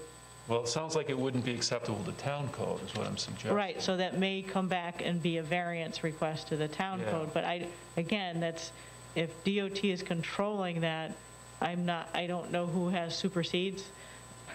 How about we just make it one way, and the two-way is on the other side? And that's fine, that's, that's the way you presented it. Yeah. I kind of like that way. Oh, okay. Yeah, that's fine with me. All right, so then Yeah. it's just going to be a one-way, One way in? one-way, one-way in or one-way out? One way in, One way in? One way in.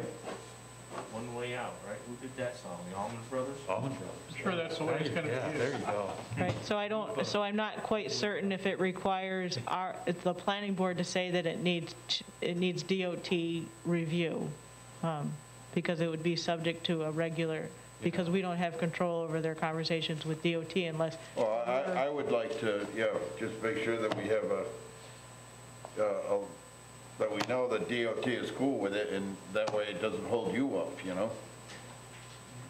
okay. If DOT says it's okay for two-way, is that okay with the board?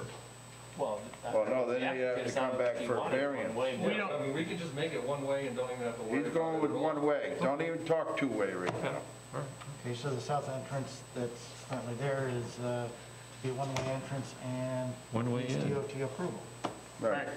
That sounds good. Okay. Just yep, I think secretary. that covers I don't see any reason why they wouldn't approve, approve it if it's just one way. Right. There's plenty of width. Yeah. All right, anything else, or are we ready for that, to hear that resolution? Um, It's a, the SEQR's first. Uh, Then, the- can I, so the other item was to confirm that you wanted the original lighting plan and not the um, alternate, alternate one. Yeah, that's what I'm calling it. Okay. So our original proposal had the, the just under two and a half foot Yeah. candles. um, And we came prepared with another one, but, uh, our, you know, if the board's okay with it, we'd like to stick with the original proposal. It's slightly under the recommendation of two and a half foot candles, but we feel it's adequate to provide enough security. And, um, you know, at least it keeps the, the brightness down a little bit.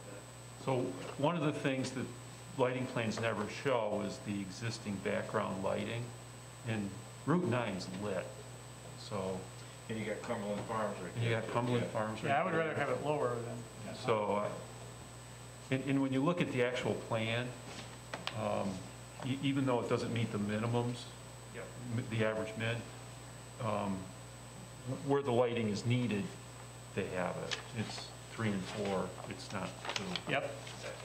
So, Yeah, And just a side note for, so one of the comments from the public was it looked like there was buildings on the rear of the buildings, but I didn't, I didn't seem to see that, and I just want to confirm that there, there, there isn't rear light, isn't built, I didn't think so.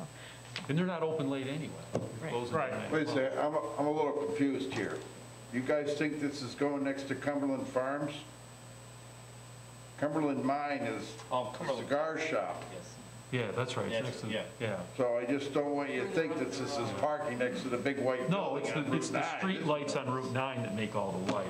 It's the street lights on Route 9. But this is, this is, it's not Cumberland Farms that's next door. It's it's Yeah. Cumberland Mine, which is uh, The cigar shop. Smoking Joe's there. LLC, I think. So are we doing the original lighting plan or the, Original lighting plan, yep. Thank you. So we have to consider, uh, under SEQR, we have to do a SEQR resolution. Do folks have environmental concerns No. on this application? It seems like they have a uh, It is not. robust stormwater plan. People feel comfortable going ahead with SEQR? Yes. Yes. Okay. We'll do a SEQR resolution. Motion to grant a negative declaration for site plan 54-2020 Luxury Box LLC as per the, per the resolution prepared by the staff. Uh, One, Part 2 of the short EAF has been reviewed and completed by the planning board. Two, Part 3 of the short EAF is not necessary because the planning board did not identify potentially moderate to large impacts. I'll second it. We have a SEQR resolution made and seconded. Is there any discussion on the motion? Maria, can you call the vote for us, please? Mr. Hunsinger? Yes. Mr. Magowan? Yes. Mr. Valentine? Yes. Mr. Dixon? Yes. Ms. White? Mr. Shafer? Yes. Mr. Traver? Yes. Uh, Next, we can consider the site plan approval resolution with the conditions that uh, we've added.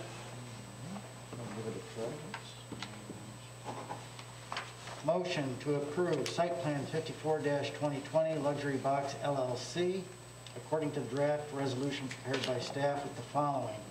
One, waivers requested or granted. Two, approval is valid for one year from the date of approval. Applicant is responsible for requesting an extension of the approval before the one-year time frame has expired if you have not yet applied for a building permit or commenced significant site work.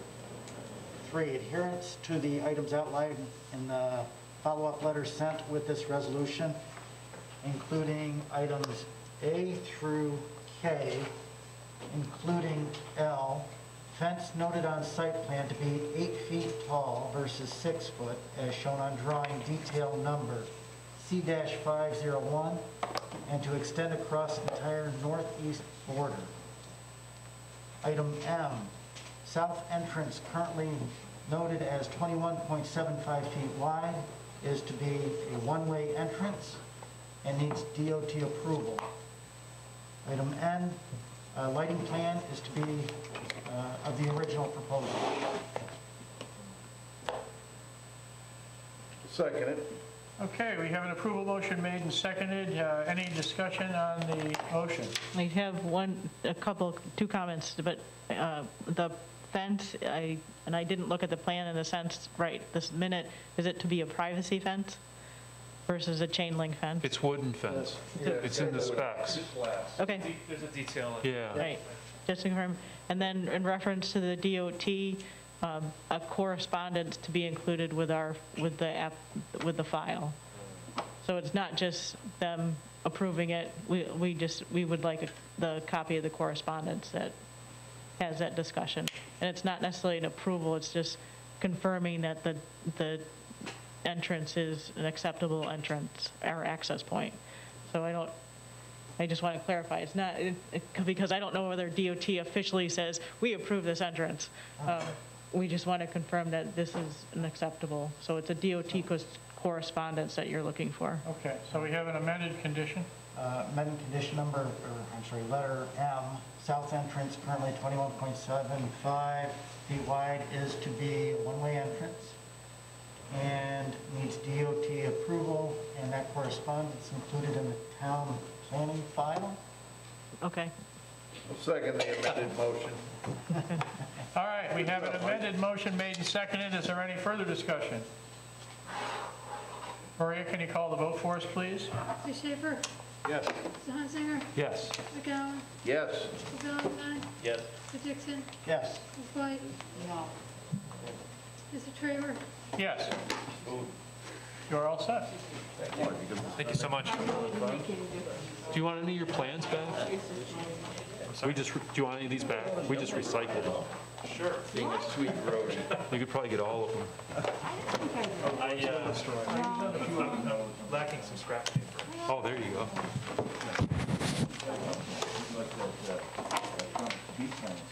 Okay, that's pretty cool. Uh, That's the, that's the last item on our agenda this evening. Is there any other business before the board? So I'm going to identify something that was pro- um, provided to you. Um, I believe it's up where um, Mike is. So there was a resolution setting a public hearing from the town board to amend the uh, Queensbury Town Code to add uh, allowed uses in residential zones, and it's in reference to allowing uh, tree service or landscaping company. And I apologize, I didn't get a chance to look at this yet, and this is probably the first time that you're looking at this information. The town board did ask for a referral, a rec- a recommendation on this, and at the moment, I don't have enough information to provide to you. I would ask that you look at it. There is an opportunity for um, comment. Um, If you do have additional comment, maybe I can forward it that way to the town board. Um, Okay. And I I apologize. I- Maybe we can uh, discuss it next month after we've had a chance to look at it? There's nothing Unfortunately- pressing on it, is it? So unfortunately, there, the town board's public hearing is in, is January 11th. And at this point, I, again, the town board can refer information or they can um, make decisions on their own. So I- it's not quite clear whether they would just move forward on an applic, uh, this public hearing and, and make a decision on this referral, um, or a decision on the, rezo- um, adding this use to that zone. So I just want to make sure you're aware of it. It's in your hands now, but I'm not quite sure how to proceed, um, other than Right. asking you for your comments. As- Okay. As soon as you get a chance to read it. So if members of the board have comments, they should forward them to you as soon as possible, right? That would be, the yes. Okay. All right, we will do so. Thank you, Laura. Anything else before the board this evening? All right, we'll entertain a motion to adjourn. So moved. Uh, all in favor, say aye. Aye. Any opposed? We stand adjourned for 2020, ladies and gentlemen. Thank you very much.